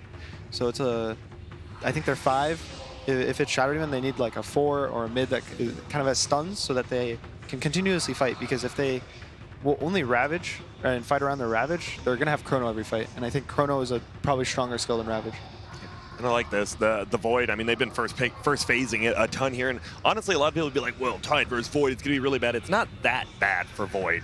Like he'll get harassed a little bit, but once you get like level five, you start taking that off. You're just gonna start like either creep skipping, whatever. It, it's not that bad. And now you have the team fight, and that's how Secret won last game, right? They had the overall better team fight. Also, the Void can go into Silver Edge if he really feels the need for it. He's a natural Shadow Blade buyer. It seems Secret just understand these are maybe two of the best cores right now in the game because you go back, what, even the start of the group stage, you go back a few months, you'd almost ra very rarely see cores being picked up, multiple of them in that first stage. But that's what Secret are willing to do. I know a lot more players are comfortable picking their heroes earlier in the game. Uh, it used to be, at least like for me and like I think a lot of other players is, they'd be really scared of getting countered. So it's like when I'd be picking my, like an Ember Spirit, I'd be like, oh, I don't want the other team to pick like a Nyx to counter me, right? Yeah. And someone told me, I think it was March, he basically said like, you're a core player. Why should we be really scared of these supports? You know, it's like, they're just a support, you're a core, you're the bigger hero of the game. You have to, you have to overcome these, you know, like walls, these obstacles in your way to like win a Dota game. And sometimes your game's gonna be hard. There's gonna be counters, you know, hero counters, lane counters, you know. There's But- always gonna be. Yeah, it's no game's gonna be like perfect, right? Yeah, and that's where like you know playing all these pub games, which is what most of these pros do, can really help from mids because you know you pick your hero up, you're often playing into those 10 pick counters. That's why a lot of times even some mids when they want to practice a hero, they'll just first pick it like 20 pubs in a row. I know like Arteezy does it, CCNC will do it. Uh, at least from like I, I know the NA region more, but they will like just take a hero. You know, like Arteezy did with for example. He just spam that hero, and he learned all the matchups. He learned what people would want to pick against it, all the uh, you know what people wouldn't really pick against it, what it would be really good against, good with, and you got to learn a lot of hero matchups because people would draft around it. You, you got to sacrifice your MMR. Honestly, a, a lot of people say that, but like you, you might have to sacrifice to learn. Like if you want to be number one MMR, good for you. But if you want to be a pro player, you, you have to be willing to learn, as you say. So they're going to take out uh, a lot of those strong heroes right now in the second phase. They're kind of banning to protect their first phase. Uh, with Infamous, the AA ban, it helps against Tidehunter. You can't remove the debuff, the Ice Blast. So the Tidehunter gets a little squishy. And then from the Tide, Tide uh, the team of Team Secret, they're taking out Naga and the Mirana. Just like a strong four with the Shadow Demon. And- Always scary. Yeah. Naga Naga- also. Are you? Have you seen him play it much? I haven't seen. I mean, I, I'm pretty sure Hector can always play it, but I have just not seen him play Naga. I don't think they play it because uh, I think it's not like his type of hero, right? Like he likes he likes to be the one hitting creeps. When It's you're just- having these illusions hitting creeps, that oh, doesn't Oh, yeah, feel yeah. the same. You know? it is just one of the best matchup counters to Void, though. And I think that's probably what they understand is like, maybe he doesn't play it, but what if he does? yeah, you just get rooted and you can't jump away. Yeah, and you're just, as a Void, it's so hard to ever find the real Naga. You just have illusions being thrown at you. Annoying. Even a song whenever you chrono, if you don't BKB early. I mean, we saw like early in the game when the PL had the diffusal, like this Void had a lot of trouble dealing with it. It's kind of the same with Naga. You get diffused, you're just dead. and You're just dead in the water. I do like the Elder Titan ban. Obviously, it's the same as AA. It's something that goes good into there. And oh, yes. Bringing back some of the old school classic Void counters. We are in a Wisper. He played a ton of this hero as well in the qualifiers. So is this uh, Scofield? I think it. Shadow Demon, and a five tide. That's a good Well, question. I 'Cause think I, feel think like- they would ran Yeah. a five tide before. I believe they have. And, you know, Doomtide- Rush level one's not bad. Yeah, Doomtide as a 3-4 doesn't sound the greatest, so. it doesn't. I mean, they could obviously be a support Doom, but from what I've seen them playing, it's almost always Wisper Doom. Puppey Witch Doctor picked in response. There's a, a five position just to secure that lane to help the Void out, I feel. I think that's uh, Team Secret watching the replays from yesterday. Their match against Mineski, Ninjaboogie played Witch Doctor against a Zai Tide. Yep. And he completely ruined the Tide's game for the first 20 minutes. You can't remove Maledict. It's really good against these tanky heroes. And it's damage inside the Chrono, which Yep. is always good. There's the Life Stealer. Yep, we figured they took the Shadow Demon. He's either picking that or Sven. Like, I didn't see them taking any other hero. Hector Classic. He likes going Midas. He likes going Radiance on the hero. Uh, he can go Halberd as well, kind of help against the Void, force me to go MKB. Get his casual belt of strength. Yeah, just kind of hold in his inventory for 20 minutes. Hmm. Well, Secret probably looking for some damage inside the Chronosphere, I feel, with Yapzor's hero as well. They have got the Death Ward, but can't really go wrong with throwing in some more damage, or at least some follow-up to it. Yeah, his uh, Mirana and his Rubik are taken out, but well, the Enigma. Wow. There's Well- the, that late game team fight that Secret loves doing. We saw versus EG in that game too. You have the Enigma, you have the Chrono now. That, I mean, we didn't talk about, but the Tiny Ags is like almost an end-all be-all of the late game now. Enigma versus both Tide and Lifesteal feels fantastic. The Doom is the maybe one here that can be annoying, but even that is still like a kind of low cost range. You can't just throw it immediately when you see that Enigma Black Hole come out. So going to the tournament, a lot of more teams I think prioritized Enigma. Like in the past couple months, For they sure. would yeah they would kind of first ban it, first pick it, and the idea was that it would almost always win your offlane. You get one deny per wave. He also just is one of the best heroes to jungle with right now. But a lot of this uh, meta, this tournament, has been the fours are a little more free to roam. There's more like creep cutting for them, the three, so the fours will have a little more open game, and now they can walk at this and jungle. And it might be a Zai Enigma. That's what we saw yesterday. So who knows? Tiny. I think that's the thing. Tiny Enigma. They're both going to get farmed no matter what. That's just how Secret plays, and especially with these two heroes. Lina Ban, that's just kind of a stable mid, I think. That if the tide, uh, the Tiny's like a support or offlane, that they can just throw a lean on mid. He's going to do fine in whatever matchup. It's also really good against a lot of Chris Luck's heroes. Uh, the, the Ember, the Monkey, the Slark. This Lina is just going to stun you in the lane, hit you six times. And I didn't see, but I assume Infamous chose last pick. I think for a team like them, getting that last pick for Chris Luck, like he is the most momentum-based mid player. Feels like. Wh- which one of Chris Luck's heroes do you think they would like this game? Uh, it seems like a hard Slark game. I, I think we still got to see secrets, right? Because I think they're picking their hero last. Because if it is something like, what if they pick Kunkka? Sure, Slark it up. That's the thing. But what, what do you think Secret's going to pick first? Do you think they need more team fight, or you already have Enigma, Tiny, Void? They probably need more lane push from their mid. Like the Lina ban would have been good. good. if it wasn't. Uh, Hmm. If they pick something like OD, this like they're gonna be really greedy. So I think they need like uh, less greedy, less greedy, more pushing lanes, a little sacrificial, so that your Void and your Enigma can kind of, you know, claw their way up the net worth. I could see Secret taking a sniper. In their ninth pick, they've been taking, or their last pick, they've been taking sniper a lot when they don't see the enemy team's middle. And you have the, the Chrono, you have the Black Hole. I'd be a little scared against the last pick. Uh, True. I mean, who really counters sniper in the lane? Like, what's his worst matchups, yeah, do you think? That's true. He doesn't really have that many bad matchups these days. He Because you can sit back, you can even shrapnel farm jungle. He's, he, he loves farming the jungle. MidOne was farming it at like level three on the Earthshaker. They're going to run the tiny mid. though. They Oh, last okay. pick a bad. They get another hero that doesn't really care too much about the team fight spells, like the Ravage or whatever. could be a flex two, three Yep. or four with the Enigma. Yeah, so open lanes. I think it'll probably. You think it'll probably be a four Enigma and Yeah, Zai on that ABBA. Yeah. You got tower push now as well because they were actually kind of missing a little bit of it besides the Enigma. It lanes really well against Lifestealer. He won't have open wounds for the chase, so if he ever gets open wounds, you shield or removes it, he'll be able to walk away. All right, you're the mid player, Gunnar. You see, you know it's going to be a tiny mid, not much roaming potential. Who are you asking for?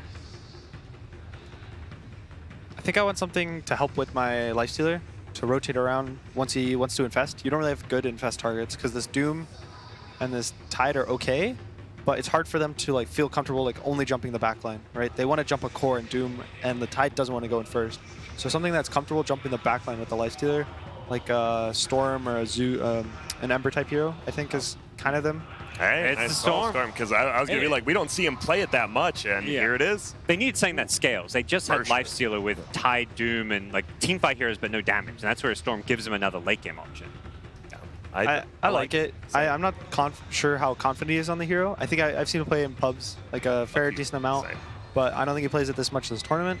But it's the same style, right? Like uh, people are playing it more early game than they used to. People used to go this like Treads, Kaya, Bloodstone build, and now they go Treads, Kaya, and they fight with the Overload tal- talent. All right, well, that's the end of our game two draft. We've got Sunbhie with Kaci on the stage before we hop into game two. Sunbhie, you've always been good at being really transparent with us. Last time I talked with you, I asked how the mood was, and you had just gone through a loss. You said you were angry. How's the team feeling right now? Um, I think we feel like we need to be cautious. I think it's an easy, um, it- it's easy to let go of the control because um, they're a very respectable team. They're the underdogs, so it's easy to. Uh, it's, there's a pitfall. There's a mental pitfall, and I think we're being very cautious, and we want to try to respect them. Uh, we do respect them immensely. They've been bullying everyone else, so we want to make sure we do the things right. All right, thank you so much. Best of luck. Thank you. Back to you guys.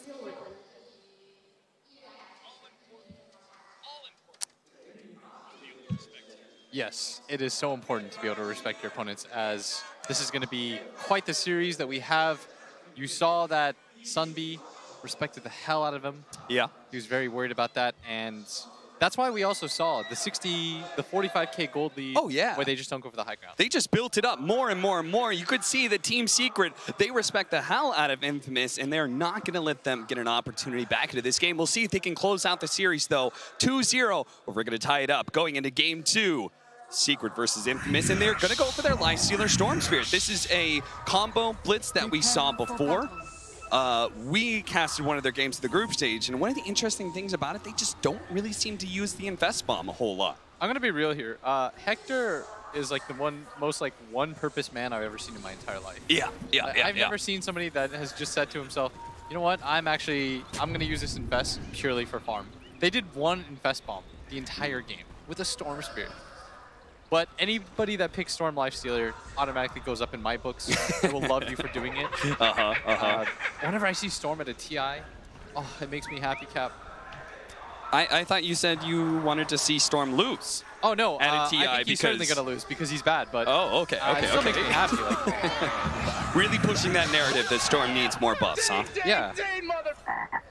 30 seconds. Let's see how uh, Infamous fares this time. I think Game 1's narrative was really interesting, right? That uh, Secret did give up a lot of the mid-game to Infamous. Infamous, like, dominated that period of time, had that really high win probability, but Secret, they just had a style that seemed to clash really well against Infamous, which is just hold the high ground, wait for this, the one little mistake to be made, wait for one little mispositioning or initiation gone awry. We're going to see Zai, who does with the open wounds, going to be slowed down quite a bit here.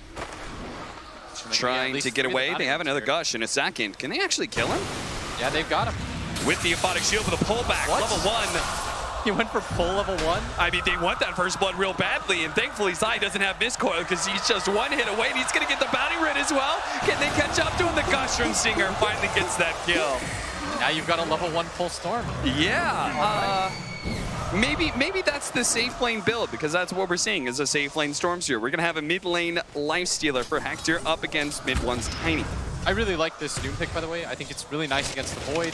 Um, I've been waiting for teams to pick something against the Void. You need either some way to disable him or you need some sort of hard save. We saw what a hard save looks like in that game uh, where Liquid had to play against that Tiny. Maybe not the best solution for Volley, but if you could run at this combination, keep you from getting chrono. maybe that's the way to deal with it. That's Infamous's hard read anyways, as they give it, they give it up again, Cap. Yeah, they actually have the save from Shadow Demon. They've got the hard disable of the Doom. They've got the initiation and the burst potential of Storm Spirit plus Life Stealer. They seem to have every single answer you would want against a Faceless Void, but Secret do have answers in return. As we're going to see Puppey finally show himself in the bottom lane, trying to get some damage on Scofield, but he isn't scared. You know what's funny? Uh, I think that Tree Volley is straight up like one of the best things in the game right now, if not like oh yeah the best mechanic. And it's Oh, yeah. it's kind of wild because uh, for a while everyone just thought it was terrible. Yeah. But the fact that it also applies the Echo Saber hits, um, it's such an easy way to fight. It just turns Tiny into like some sort of range gyro. Zai gets away into the trees. They're both going to pop their healing salves. Win for the early pickup of the Mist of Avernus. Now Scofield's in trouble as the bash comes out from Nisha. And he finishes him off before the disruption can go out, evening out the kill score. So something interesting that we noticed about Secret, uh, and the reason why, you know, I was so confident that they were going to end up winning that game despite what it looked like, is because I think they have this like principle established now for TI. Normally, what you do uh, when you come to events like this is you think of an idea and you sort of hold strong to it. It seems like they're going for sort of like that old EG TI5 style. Pick something that can go through BKBs, so you're Yeah. always dangerous to go high ground against, and then just right out the game, wait it out. uh, because I think Secret have been in so many mega creep situations or having like two racks up or two racks down where it doesn't actually matter that it doesn't feel like they want to commit for those racks anymore. Yep. And it doesn't really feel like they mind losing one set anymore either, as long as they can win the team fight at some point. As long as you're not getting straight up mega and held in your base, which is why when they were behind by 45k or when they were up by 45k, they still weren't able to go high ground. Yeah. They said to themselves like, this is the easiest way, especially with the XP change, for you to just straight up lose the game. Zai picks up the early coil finally and does manage to get himself a deny. But yeah, I see exactly what you're talking about. Uh, they, they basically said to themselves, Infamous were in this position. They tried to go high ground too early. And they lost. Through the game. We're not going to do the same thing. And, and I think, feel like Secret's probably one of those teams who uses buybacks really well, and that's part of the reason they're able to make these, uh, these sort of high ground defenses. Maybe a good read on what heroes can be sacrificed to force out an initiation. They're going to try and go for Zai again here. Chris Luck gets a little bit more of a slow. The anchor smash is not quite enough. Zai is going to be able to get off the Aphotic Shield. Does have a Mist Coil prepared, so if Stinger brings him low but doesn't actually finish him, Zai will get another deny denies. He's going to try and burrow his way through the trees. He's getting that slow regen up as well. Stinger gush him once, hit him with the anchor smash. Aphotic Shield immediately comes out, and Zai should be fine now. Still not having the ideal lane that he wants. Certainly not. And not as it uh, it comes at the benefit of Yapzor, who's going to be playing that forward position Enigma. The body blocking here, they're really recommitting to killing Zai. The Aphotic Shield goes down, but there's the pull from Chris Luck. He's going to turn and try and actually kill Chris Luck in return, trying to get the deny, simultaneously going for the kill, but Zai misses both. I'm not entirely sure how worth that that is because Yapzor just got like two waves under the tower and he's already level three with arcane boots. And Yapzor is actually going to try and kill Chris Luck here. He does have Malefice. He's going to hold it for the time being. He's got the boots advantage as well, but Chris Luck is so tanky with the Ring of Basilius. Yeah, Storm naturally has quite a lot of armor to him. But I do think that's the uh, the principle that Secret is going to ride for this TI. Yeah. Hold high ground. Uh, don't ever go for high ground yourself unless you're overwhelmingly ahead. And even then, they're playing it so cautious. They've got an SD on their team last game that enabled them to do that. So let's talk about what Infamous needs to do to be able to break that kind of style. That very reserved, bend, don't break is, is a term that you frequently use for these kind of styles, right? Just letting the enemy crash into you over and over again. And uh, at some point in time, you're going to break them defensively, and then you maintain control of the map. Like I'd like to see Infamous be a lot more patient. Okay. Uh, going for Rax Oh, this is quite the man fight between Maledict and the Shadow Poison. Both have uh, damage options that build up over time, but it looks like Scofield's the one to be able to back down. But top lane, the rotation for MidOne, killing Chris Luck. And now Zai trying to chase down Stinger. Yapzor in MidOne is going to join him here. An early rotation secures the bounty rune, but also gets two kills in the top lane. These are the kind of rotations that we got really used to seeing from MidOne throughout the DPC. These really aggressive moves into the side lanes where he doesn't really care how his mid lane's going as long as he's helping that out. But I think the way to deal with it is either you outgreet them uh, and force them into a position where they actually have to make the move. So give yourself the best late game possible. Yeah. I think that's one really good way to deal with Secret. And the second really good way to deal with Secret, I think, is the OG principle of hit a timing and then just non-stop control the map. Don't So- let them ever leave the base. Set up aggressive wards. Allow Thompson to scour out your jungle. Make it really hard for them to ever leave. So the first one sounds like an EG principle, but the second one, that sounds a little bit more like Infamous's Alley. I mean, we've Yes. talked about how they can be so aggressive and so good at being able to outplay any teams here that if they can hit that kind of time with just control. Zai maybe falling here, trying to go for the Mist Coil, but you could see Infamous were canceling their attacks, trying to force out that Mist Coil and secure the kill rather than the deny. Now they might be able to get Yapzor as well. He instantly TPs away, though, after the only stun that they had. So the scope question then, used. Wisper getting gone on at bottom, is Maledicted. Oh, and he gets the bash! Nisha twice now has gotten just the perfectly timed bash to claim a kill. The question is, do you think that, do you think uh, Infamous has the better late game? Because that style works when you think you have the better late game. Yeah. And, oh well, that question's up your alley then. Do they have the better late game? They I have think- answers to Void. I think if they're up like 10k, their lineup is actually really sick. Okay. Uh, that's when I feel comfortable calling them. Because I think Doom is going to be a really good hero in this game potentially, but his laning phase isn't the easiest, this bottom lane, and uh, Abaddon is such a good hero against him just because he's able to constantly throw out the Aphotic Shield, the Mist Coil, keep people alive. Because when you use Doom, you want it to be a finishing spell. It doesn't feel good to just use it to get somebody out of a team fight. Dude, look at this. MidOne's using his illusions to try and get more and more chip damage on this offlane tower. Secret very clearly have this idea that this early tower damage matters. Nisha did it in the first game, and now we see MidOne do it as well. It is going to push up the lane to Wisper, which is why MidOne wants to get aggressive here. Maybe even try to set something up. But Wisper going to pop this Scorched Earth, bring the creep wave back a little bit. And they're going to concede that first tower of the game. Yeah, that 1-1-4 build. Max out tree throw. That is deadly. And what's so scary about this combo, the Faceless Void Tiny combo, is you know at some point they'll get it off. And that's Yeah. going to be sure death for anybody. Uh, Infamous this time around, though, they do have two things that I really felt like they needed. One is a way to deal with the Void, and two is some sort of hard save against the Tree Volley, which is the Shadow Demon. Chronosphere, they killed Wisper before they are going to be able to get back after Bash Nisha. What are these procs? Can the uh, Scofield actually save me? He does have the disruption. One of the Maledict procs is actually going to be taken down, but he gets another Bash. Nisha, this guy, he just keeps on bullying poor Wisper, and the luck is on his side. Three levels of time lock, but nice rotation from Scofield. What I'd like to see is maybe even a rotation down towards that bottom lane with the Doom. Okay. Hector already has the Midas. Hector's game has been sick. Well, he's going to need to return back to lane. The paralyzing cask doesn't bounce and hits the uh, life stealer in time. Hector does manage to get up to that top lane and collect all that farm. There's like this small contingent of Infamous fans that are just super hype, cheering them as they get into the booth. And I love that too because it, it makes me kind of feel, because I know there are so many fans watching online right now just cheering their hearts out for their team. This is the best that South America has ever done in a TI by a mile. Oh, I would have. I'd love to see a game three. We've casted so many infamous games that watching their journey and seeing how far they've been able to come. It's been uh, quite inspiring.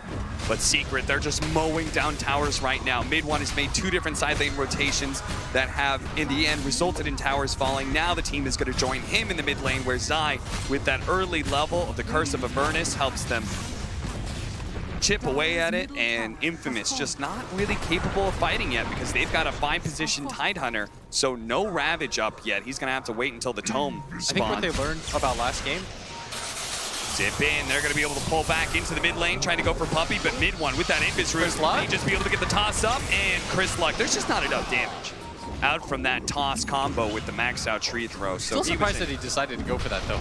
Yeah. That's not an easy kill with the amount of farm and levels that you have. Uh, for Infamous, I think they're being punished. What Secret learned, I think, about the last game was that they don't really defend towers early on because they have two greedy side lane cores. Yeah. They've got Storm plus Lifestealer, um, and they've got Doom.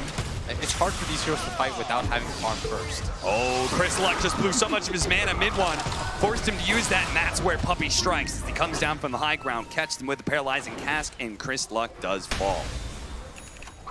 And Chris Luck, and you love that cockiness from him. It's sort of what gives him his strength, but yeah, at the same time, it'll cost him his life. And it's costing him his net worth too. He is second in CS, but he's down at sixth in net worth. Yeah, even behind Yapzor. Jump on a Hector. He does have the rage, but they do have the black hole in return with a death ward. All that physical damage and the hole through that magic immunity is good enough to get the kill. That is the top net worth hero in the game, Fall. He absolutely did not expect to die like that. Now trying to chase down bottom lane Zai.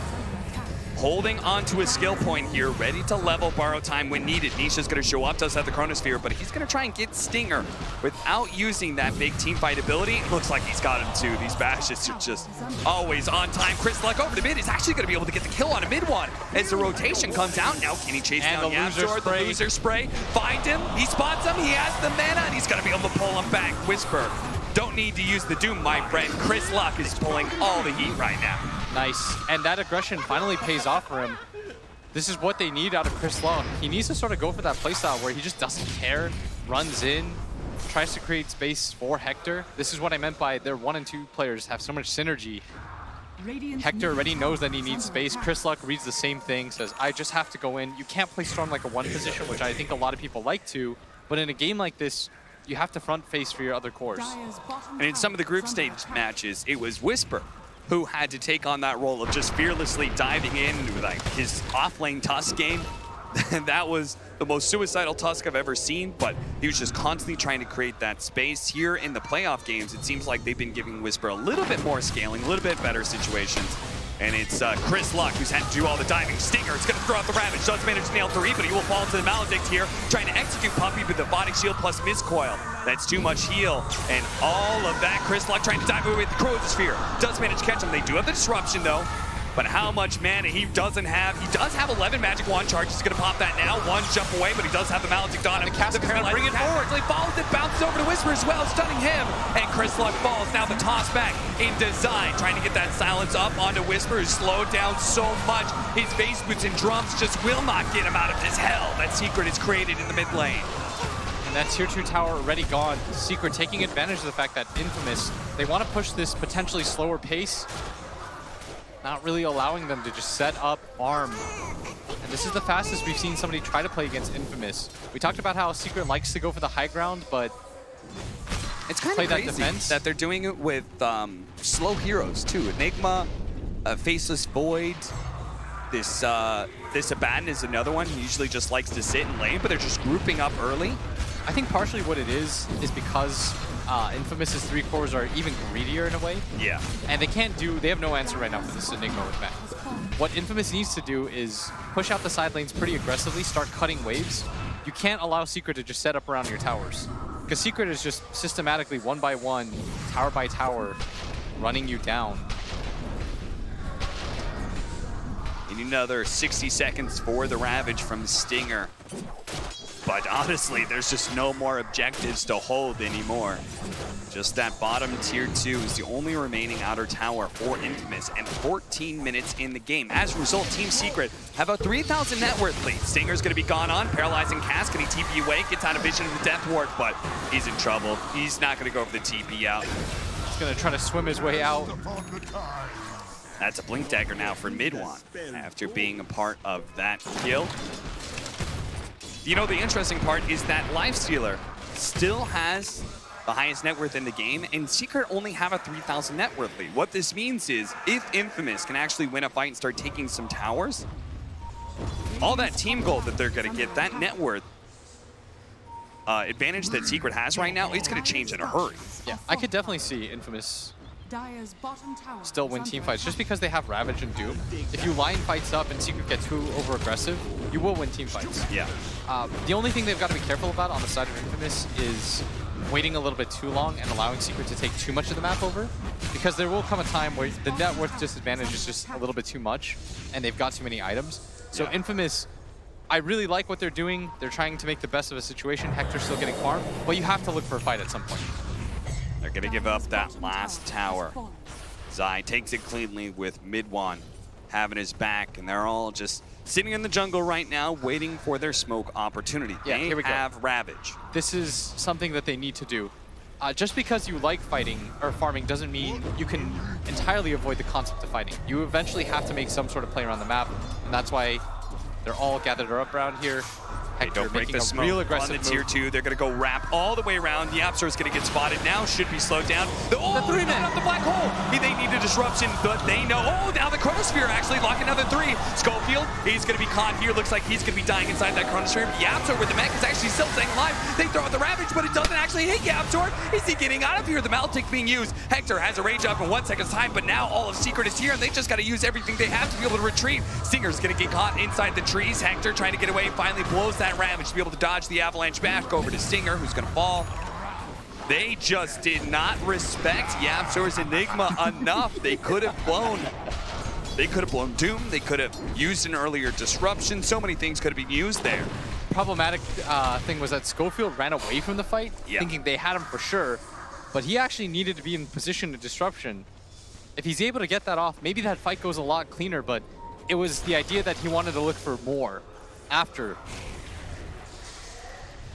Hector with his Hanamitis and Infest. This is a guy who has a different idea about Life Stealer. He's going to be using his Infest to farm like nine times out of ten. when This he's Infest- not using it to farm, he's probably using it in team fights as an escape mechanism, not as an initiation tool. Yeah, this guy is going to use this to never team fight. The way he's going to come back into this game is to use it to farm even more. And that's why Secret are going to take advantage of that. They know that they know what Hector's about. They're going to Yep. go for the Roshan. And it's in fact going to be Infamous that now has to potentially learn how to hold high ground at this early state. They've been aggressive so far. he's just going to try and go in with a Scorched Earth. Chris Luck holding around. MidOne makes his jump in, though. It's going to be able to catch the Doom. Doom survives. Wisper can get off a Doom somewhere here, and he uses it onto Nisha, but Nisha's plenty healthy, especially with the Aphotic Shield on him. But Stinger's here. No Ravage, but they will manage to execute. Yeah, The clap by They're going to jump back in. The clap for Rosh on the Aphotic Shield. Can they finish off Nisha? They need a little bit more. The double damage. The final hit, he gets him. Wisper finishes him off. Now Stinger trying to hide from the Death Ward, but everyone from Infamous has thrown their lives into this fight to slow down Team Secret. It's gonna cost them four here. Scofield will take a little time, but eventually he does fall to That entire time, Hector was farming. He is so close to his Radiance, but Roshan is so close to dying in Team Secret. Look at this. They know that he's used the Rage to farm Wisper in this area, MidOne, looking for more, but They're gonna run into Wisper first. He's there to help guide Hector. The Radiance is on its way. They're so close to being really strong right now. If they could just stall out Secret for a little longer. This would be sick if they could get the Aegis themselves.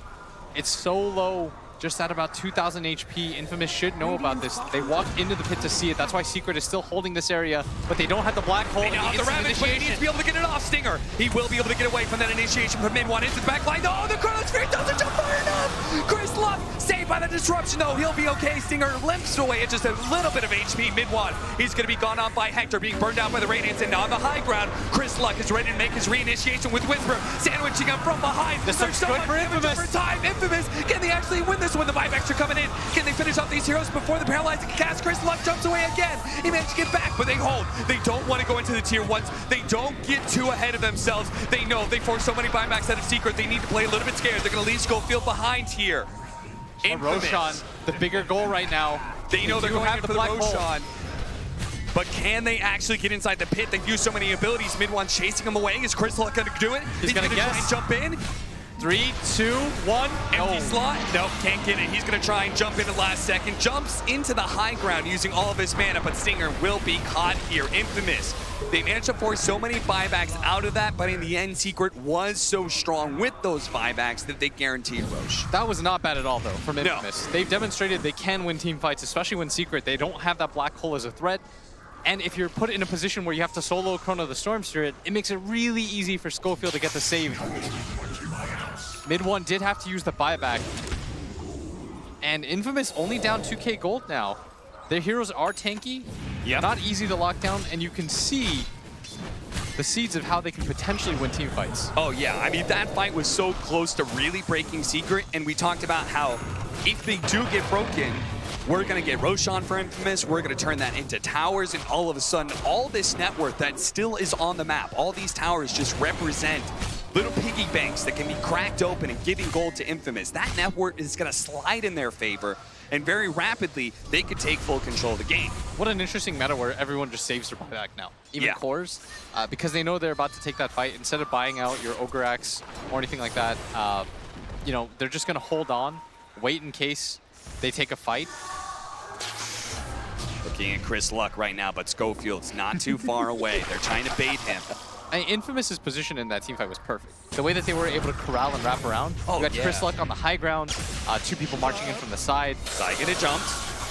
Not sure how much they want to commit to this hero that has the borrow time in from behind. They're going to go for Stinger, trying to force out the Ravage. They do manage to lock down him and Scofield, who's going for the disruption. The Apsor threatening the black hole from the low ground. Disruption out, but Scofield's still dead. All the cores of Infamous will be able to get out, it seems, is MidOne. Trying to chase him, has a blink up in a second, but I just don't think Avalanche and maybe a toss back. It's going to be close, but Hector just making sure the MidOne doesn't feel comfortable going for it. And we'll see what uh, Secret ends up doing here. In the previous game, they were so cautious about trying to siege into the high ground. They do Miss. have a very low siege wagon. They can finish that off rather easily. Looks like Secret can't go for it just yet. Yeah, and it looks like they're going to hold strong to that idea that they have about Dota. Just back out, continue to try to control the map. Don't have to go high ground until you get wiped. Yeah.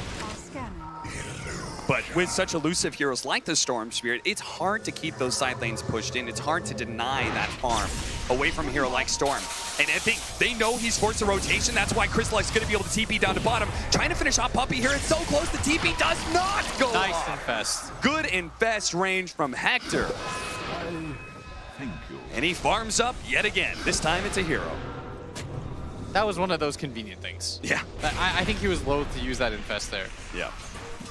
But it works. And now he is looking at an Assault Cuirass, or maybe, oh, no, no, no, sorry, Heaven's Halberd. He's already got the Sange. That would really help against this Faceless Void, who represents uh, a lot of damage right now in these team fights because Nisha is so farm with a whole Mjolnir. That's good damage right now, but Infamous don't have the best way to deal with this Abaddon core. Yeah.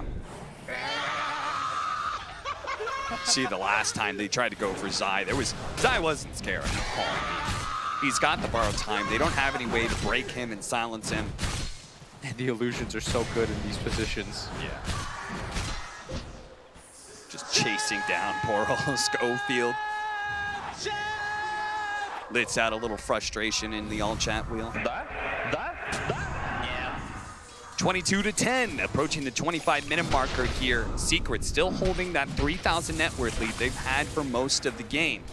But this entire time, Hector, the big carry of Infamous, the one everybody's been talking about, he's been getting bigger and bigger. He's now got Radiance, Halberd, and he's sitting inside an Ancient Granite Golem. That's so hard for Secret to deal with right away. Nisha's gonna try and lay his physical damage into it. Scofield breaks the smoke of Yapzor. Yapzor's gonna try and jump forward. MidOne does manage to find the initiation first. Scofield dies. Wisper is now gonna be chased down by Nisha. Stinger positioning himself for the Ravage, ready to go. Holds onto it now. The Ravage actually not gonna go off as he gets Chronosphered up, but Stinger's also simultaneously not gonna die until the last second. He finally gets it off. Controlling up some heroes, yes, but there is no fight to be had for Infamous. Yeah, you saw the creep come in for a second, and then he just backs out completely. Hector sees that this is a sinking Oh, ship. look at Chris Luck Chris the instant. Glyph goes down. He tried to cut the creep wave. He does have a haste rune, so he's making the most of Uh, it. He has to make this sort of play. I really like it. It's gutsy, but they're so far behind and they can't take fights right now. And that's the scary part for them. Yeah. They just don't have the team fight at this point. So Chris Luck, you've got to buy time for the rest of your team. I almost wish that Stinger had held the Ravage because that fight was very clearly over. Yes. He like the Chronosphere being used. If he still had Ravage right now, Infamous could be the ones playing on the offensive. Yeah, but by using the Ravage in that position, it makes it so you have to wait again. Yeah. And that's twice that that's happened, where Stinger uses that Ravage reflexively, thinking that there's a team fight, uh, and it ends any sort of uh, counterplay that Infamous can make. Because right now, it should be Infamous. No Aegis, you would have Ravage and Doom up, you could get aggressive without Chronos. But instead, it's Secret who aren't going to hold control of this game. Trying to hunt down Chris Luck, who's going to pop out. MidOne spots him, Avalanche, but Chris Luck's faster. Does manage to get the jump away. Even if he's caught by the toss, he can still make a long enough jump. Yeah, so almost intercepted him. Good thing that Chris Luck had the read to run into the trees with that ball lightning rather than down the lane and try and like farm up some some uh, some creeps or something. Look at this. Secret immediately moving into the mid lane. They're going to be able to catch Wisper, toss him straight up in the air send it back to the supports. Wisper does have the Crimson Guard. He's super tanky, but the Maledict's making him so much squishier, and he's going to take out. Now, the Black Hole being used on the Hector immediately canceled, though, as a good disruption from the side. Got Scofield his life, but at least he's able to get Hector out of that engagement. That's perfectly fine. Now you've traded the Shadow Demon for the cooldown of the Black Hole. That'll be worth it, and it coincides with the time that Ravage is going to come back up. Because Wisper didn't use Doom, he'll have that. Yeah. And this is the time I feel like you have to fight if you're Infamous. Now that there's no Black Hole, yes, there is Chrono, but you'll have Doom, you'll have Ravage. Uh, Hector, I, I guess you could wait for his AC, but timing-wise, it feels like this is one of the better times that they could fight. Uh, plus, they have a DD on their Storm. Let's see if they're able to make the hold here. The BKB is coming in for the Faceless Void. Nisha has it now, so very important that Wisper does manage to get the Doom off on him or maybe Yapzor. But Yapzor doesn't have the Black Hole, so I suppose he doesn't really make up much of a threat. No, not quite yet. But Secret continuing that philosophy of gaining enough ground, not going high ground, just trying to control the map.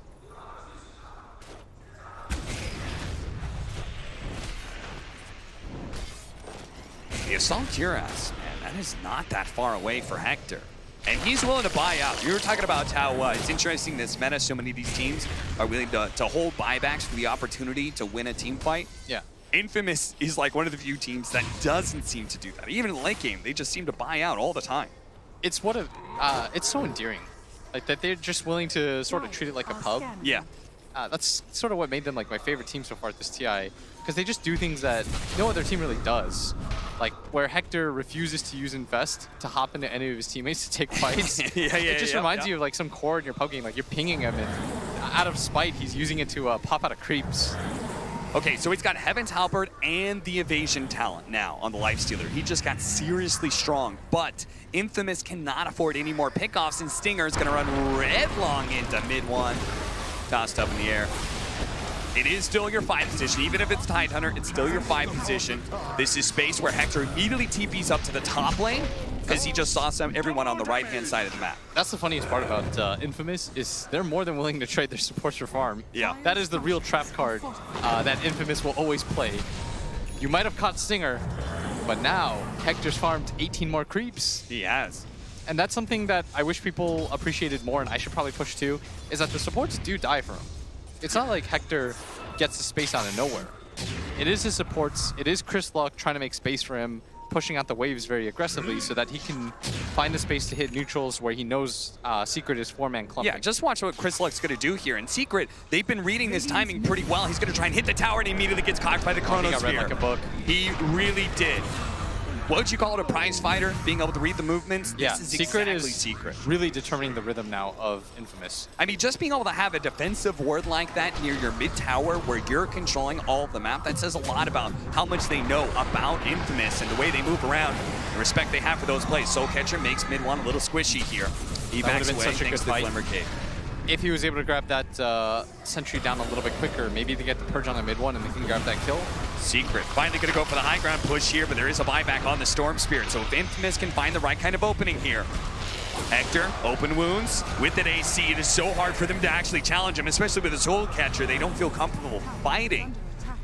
And uh, not finishing that tier 3, so they may go back for it here. This only needs one or two hits.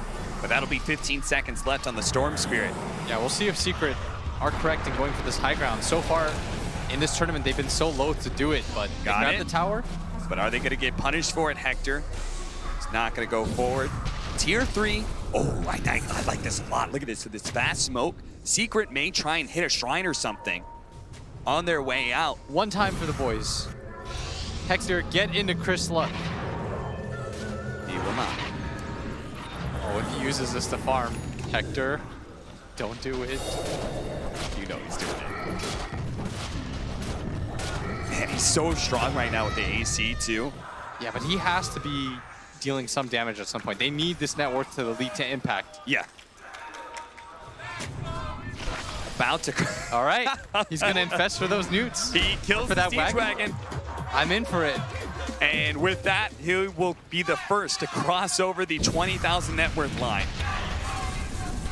He just doesn't seem to be scared of Nisha at all. Not scared of a Chronosphere, all these evasion talents and uh, items. I honestly love it. I'm going to start doing this in my games. No, please don't. You're, you're not you're not Hector. I'm not. Hector? You're not Hector. Hector's good enough to do this. It just changes everything I know about Storm Lifestealer. Yeah, dude. That's really what it does. It just messes with my head. It's like uh, Hector's got this flowchart in his head. It's like, Yeah. anytime I'm not farming, I'm not gaining gold. And anytime I'm trying to go for a gank, that's 30 seconds that I'm not getting farm. It's like, there are creeps on the map, farm. There are heroes on the map, avoid them and farm. And Secret, they, they very clearly read the way that hell. Oh, Scofield, he's dead. The smoke up from Secret's going to find the opening on the four position. Another hero that does have buyback, though. And Chris Luck is already in a position to be able to split push. Yeah, maybe this forces them back, but not without taking Rosh first. And if Scofield buys back in this position, this would alert Secret to the fact that there is going to be a 5 on 5. But I don't know if you can give up this Aegis and Cheese if you're Infamous. That's going to be another, like, six to eight minutes of just waiting. Thinking about running into the pit, but it's too late. It's already dead. Hector actually coming in from behind here, trying to catch one of the supports. Pops the Linken's on a Yapzor. He's got to be careful. They have so many different ways to break And for now this. with no range, he's going to be in serious trouble. He needs to be able to get an defense target. Here comes the Storm Spirit, but no, he dies. He's controlled up. And the cast long. bounces on him. Fear does manage to catch Stinger. They do manage to get Chris Luck out of there, but this is a disaster for Infamous. The toss forward of the Enigma to make sure that Wisper not get out alive. Three dead on Infamous after a successful Roshan for Secret, and now's the time to break the high ground. Didn't even have to use the black hole there. Yapzor was able to hold it, and with three dead, Secret finally feel the relief. Are able to go high ground. And that'll be at least one lane of barracks. We'll see if Hector's gonna buy back. Storm is here. I have a feeling Infamous just has this read that Secrets, they can't actually beat them in a fight right now. So better just to not use this net worth. Uh, they're gonna find the opening here on onto Scofield. Disruption, time dilation, slowing down Scofield as well. Now he's gonna buy back with Ravage going down on so many heroes, but instantly, look at that borrowed time, and the black hole! It's perfect, locking down the two cores! Hector, as well as Chris Luck, about to fall inside that black hole, and that's just it. Infamous. They're gonna fall here as Zai combined with Yapzor, the borrowed time into a Aphotic Shield and the, the black hole immediately afterwards, catching everybody. Infamous. They played one hell of They're a just tournament. dancing with each other. but it's looking like Secret. They're just gonna go for the tier fours here. So much time left on Infamous that it just seems impossible. Whisper, he's hoping he'll lure them into the Fountain if possible, dropping some items, dancing around them. What a fun team to watch. What a charming team to watch. But sadly, till the end, they'll do this. Till the bitter end, they will drop their items, do their taunts, drop their sprays. Going for Puppey. Oh no, the Linken's. And that's it. GG is called. Team Secret will 2-0 Infamous. The Cinderella story will end here against the DPC champs. And that was Secret just hard reading them all around the map. They did such a good job of finally figuring out the timing of Infamous. So many other teams failed at doing so. Yeah. I mean, we heard Sunbhie. They said that they really respected Infamous. They were knocking a lot of teams out of the tournament.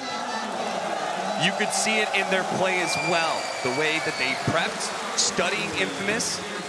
They knew exactly how Hector was going to be playing that Life Stealer, had a plan to combat it as much as possible, taking those early towers, pushing the tempo of the game, because they knew that Infamous is a dangerous team if they get in their element. Let me say, now that they're out of the tournament, they were my favorite team to watch. Yeah. Easily. Me and Cap actually requested this game because we wanted to see if they could do it. Unfortunately, they weren't able to, but and I feel like there's nothing for them to be ashamed of. Getting top eight, you outlasted half the field. This was incredible. This was one of the coolest stories that I've ever seen at a TI. Oh, I love this team. I hope they get to stick together.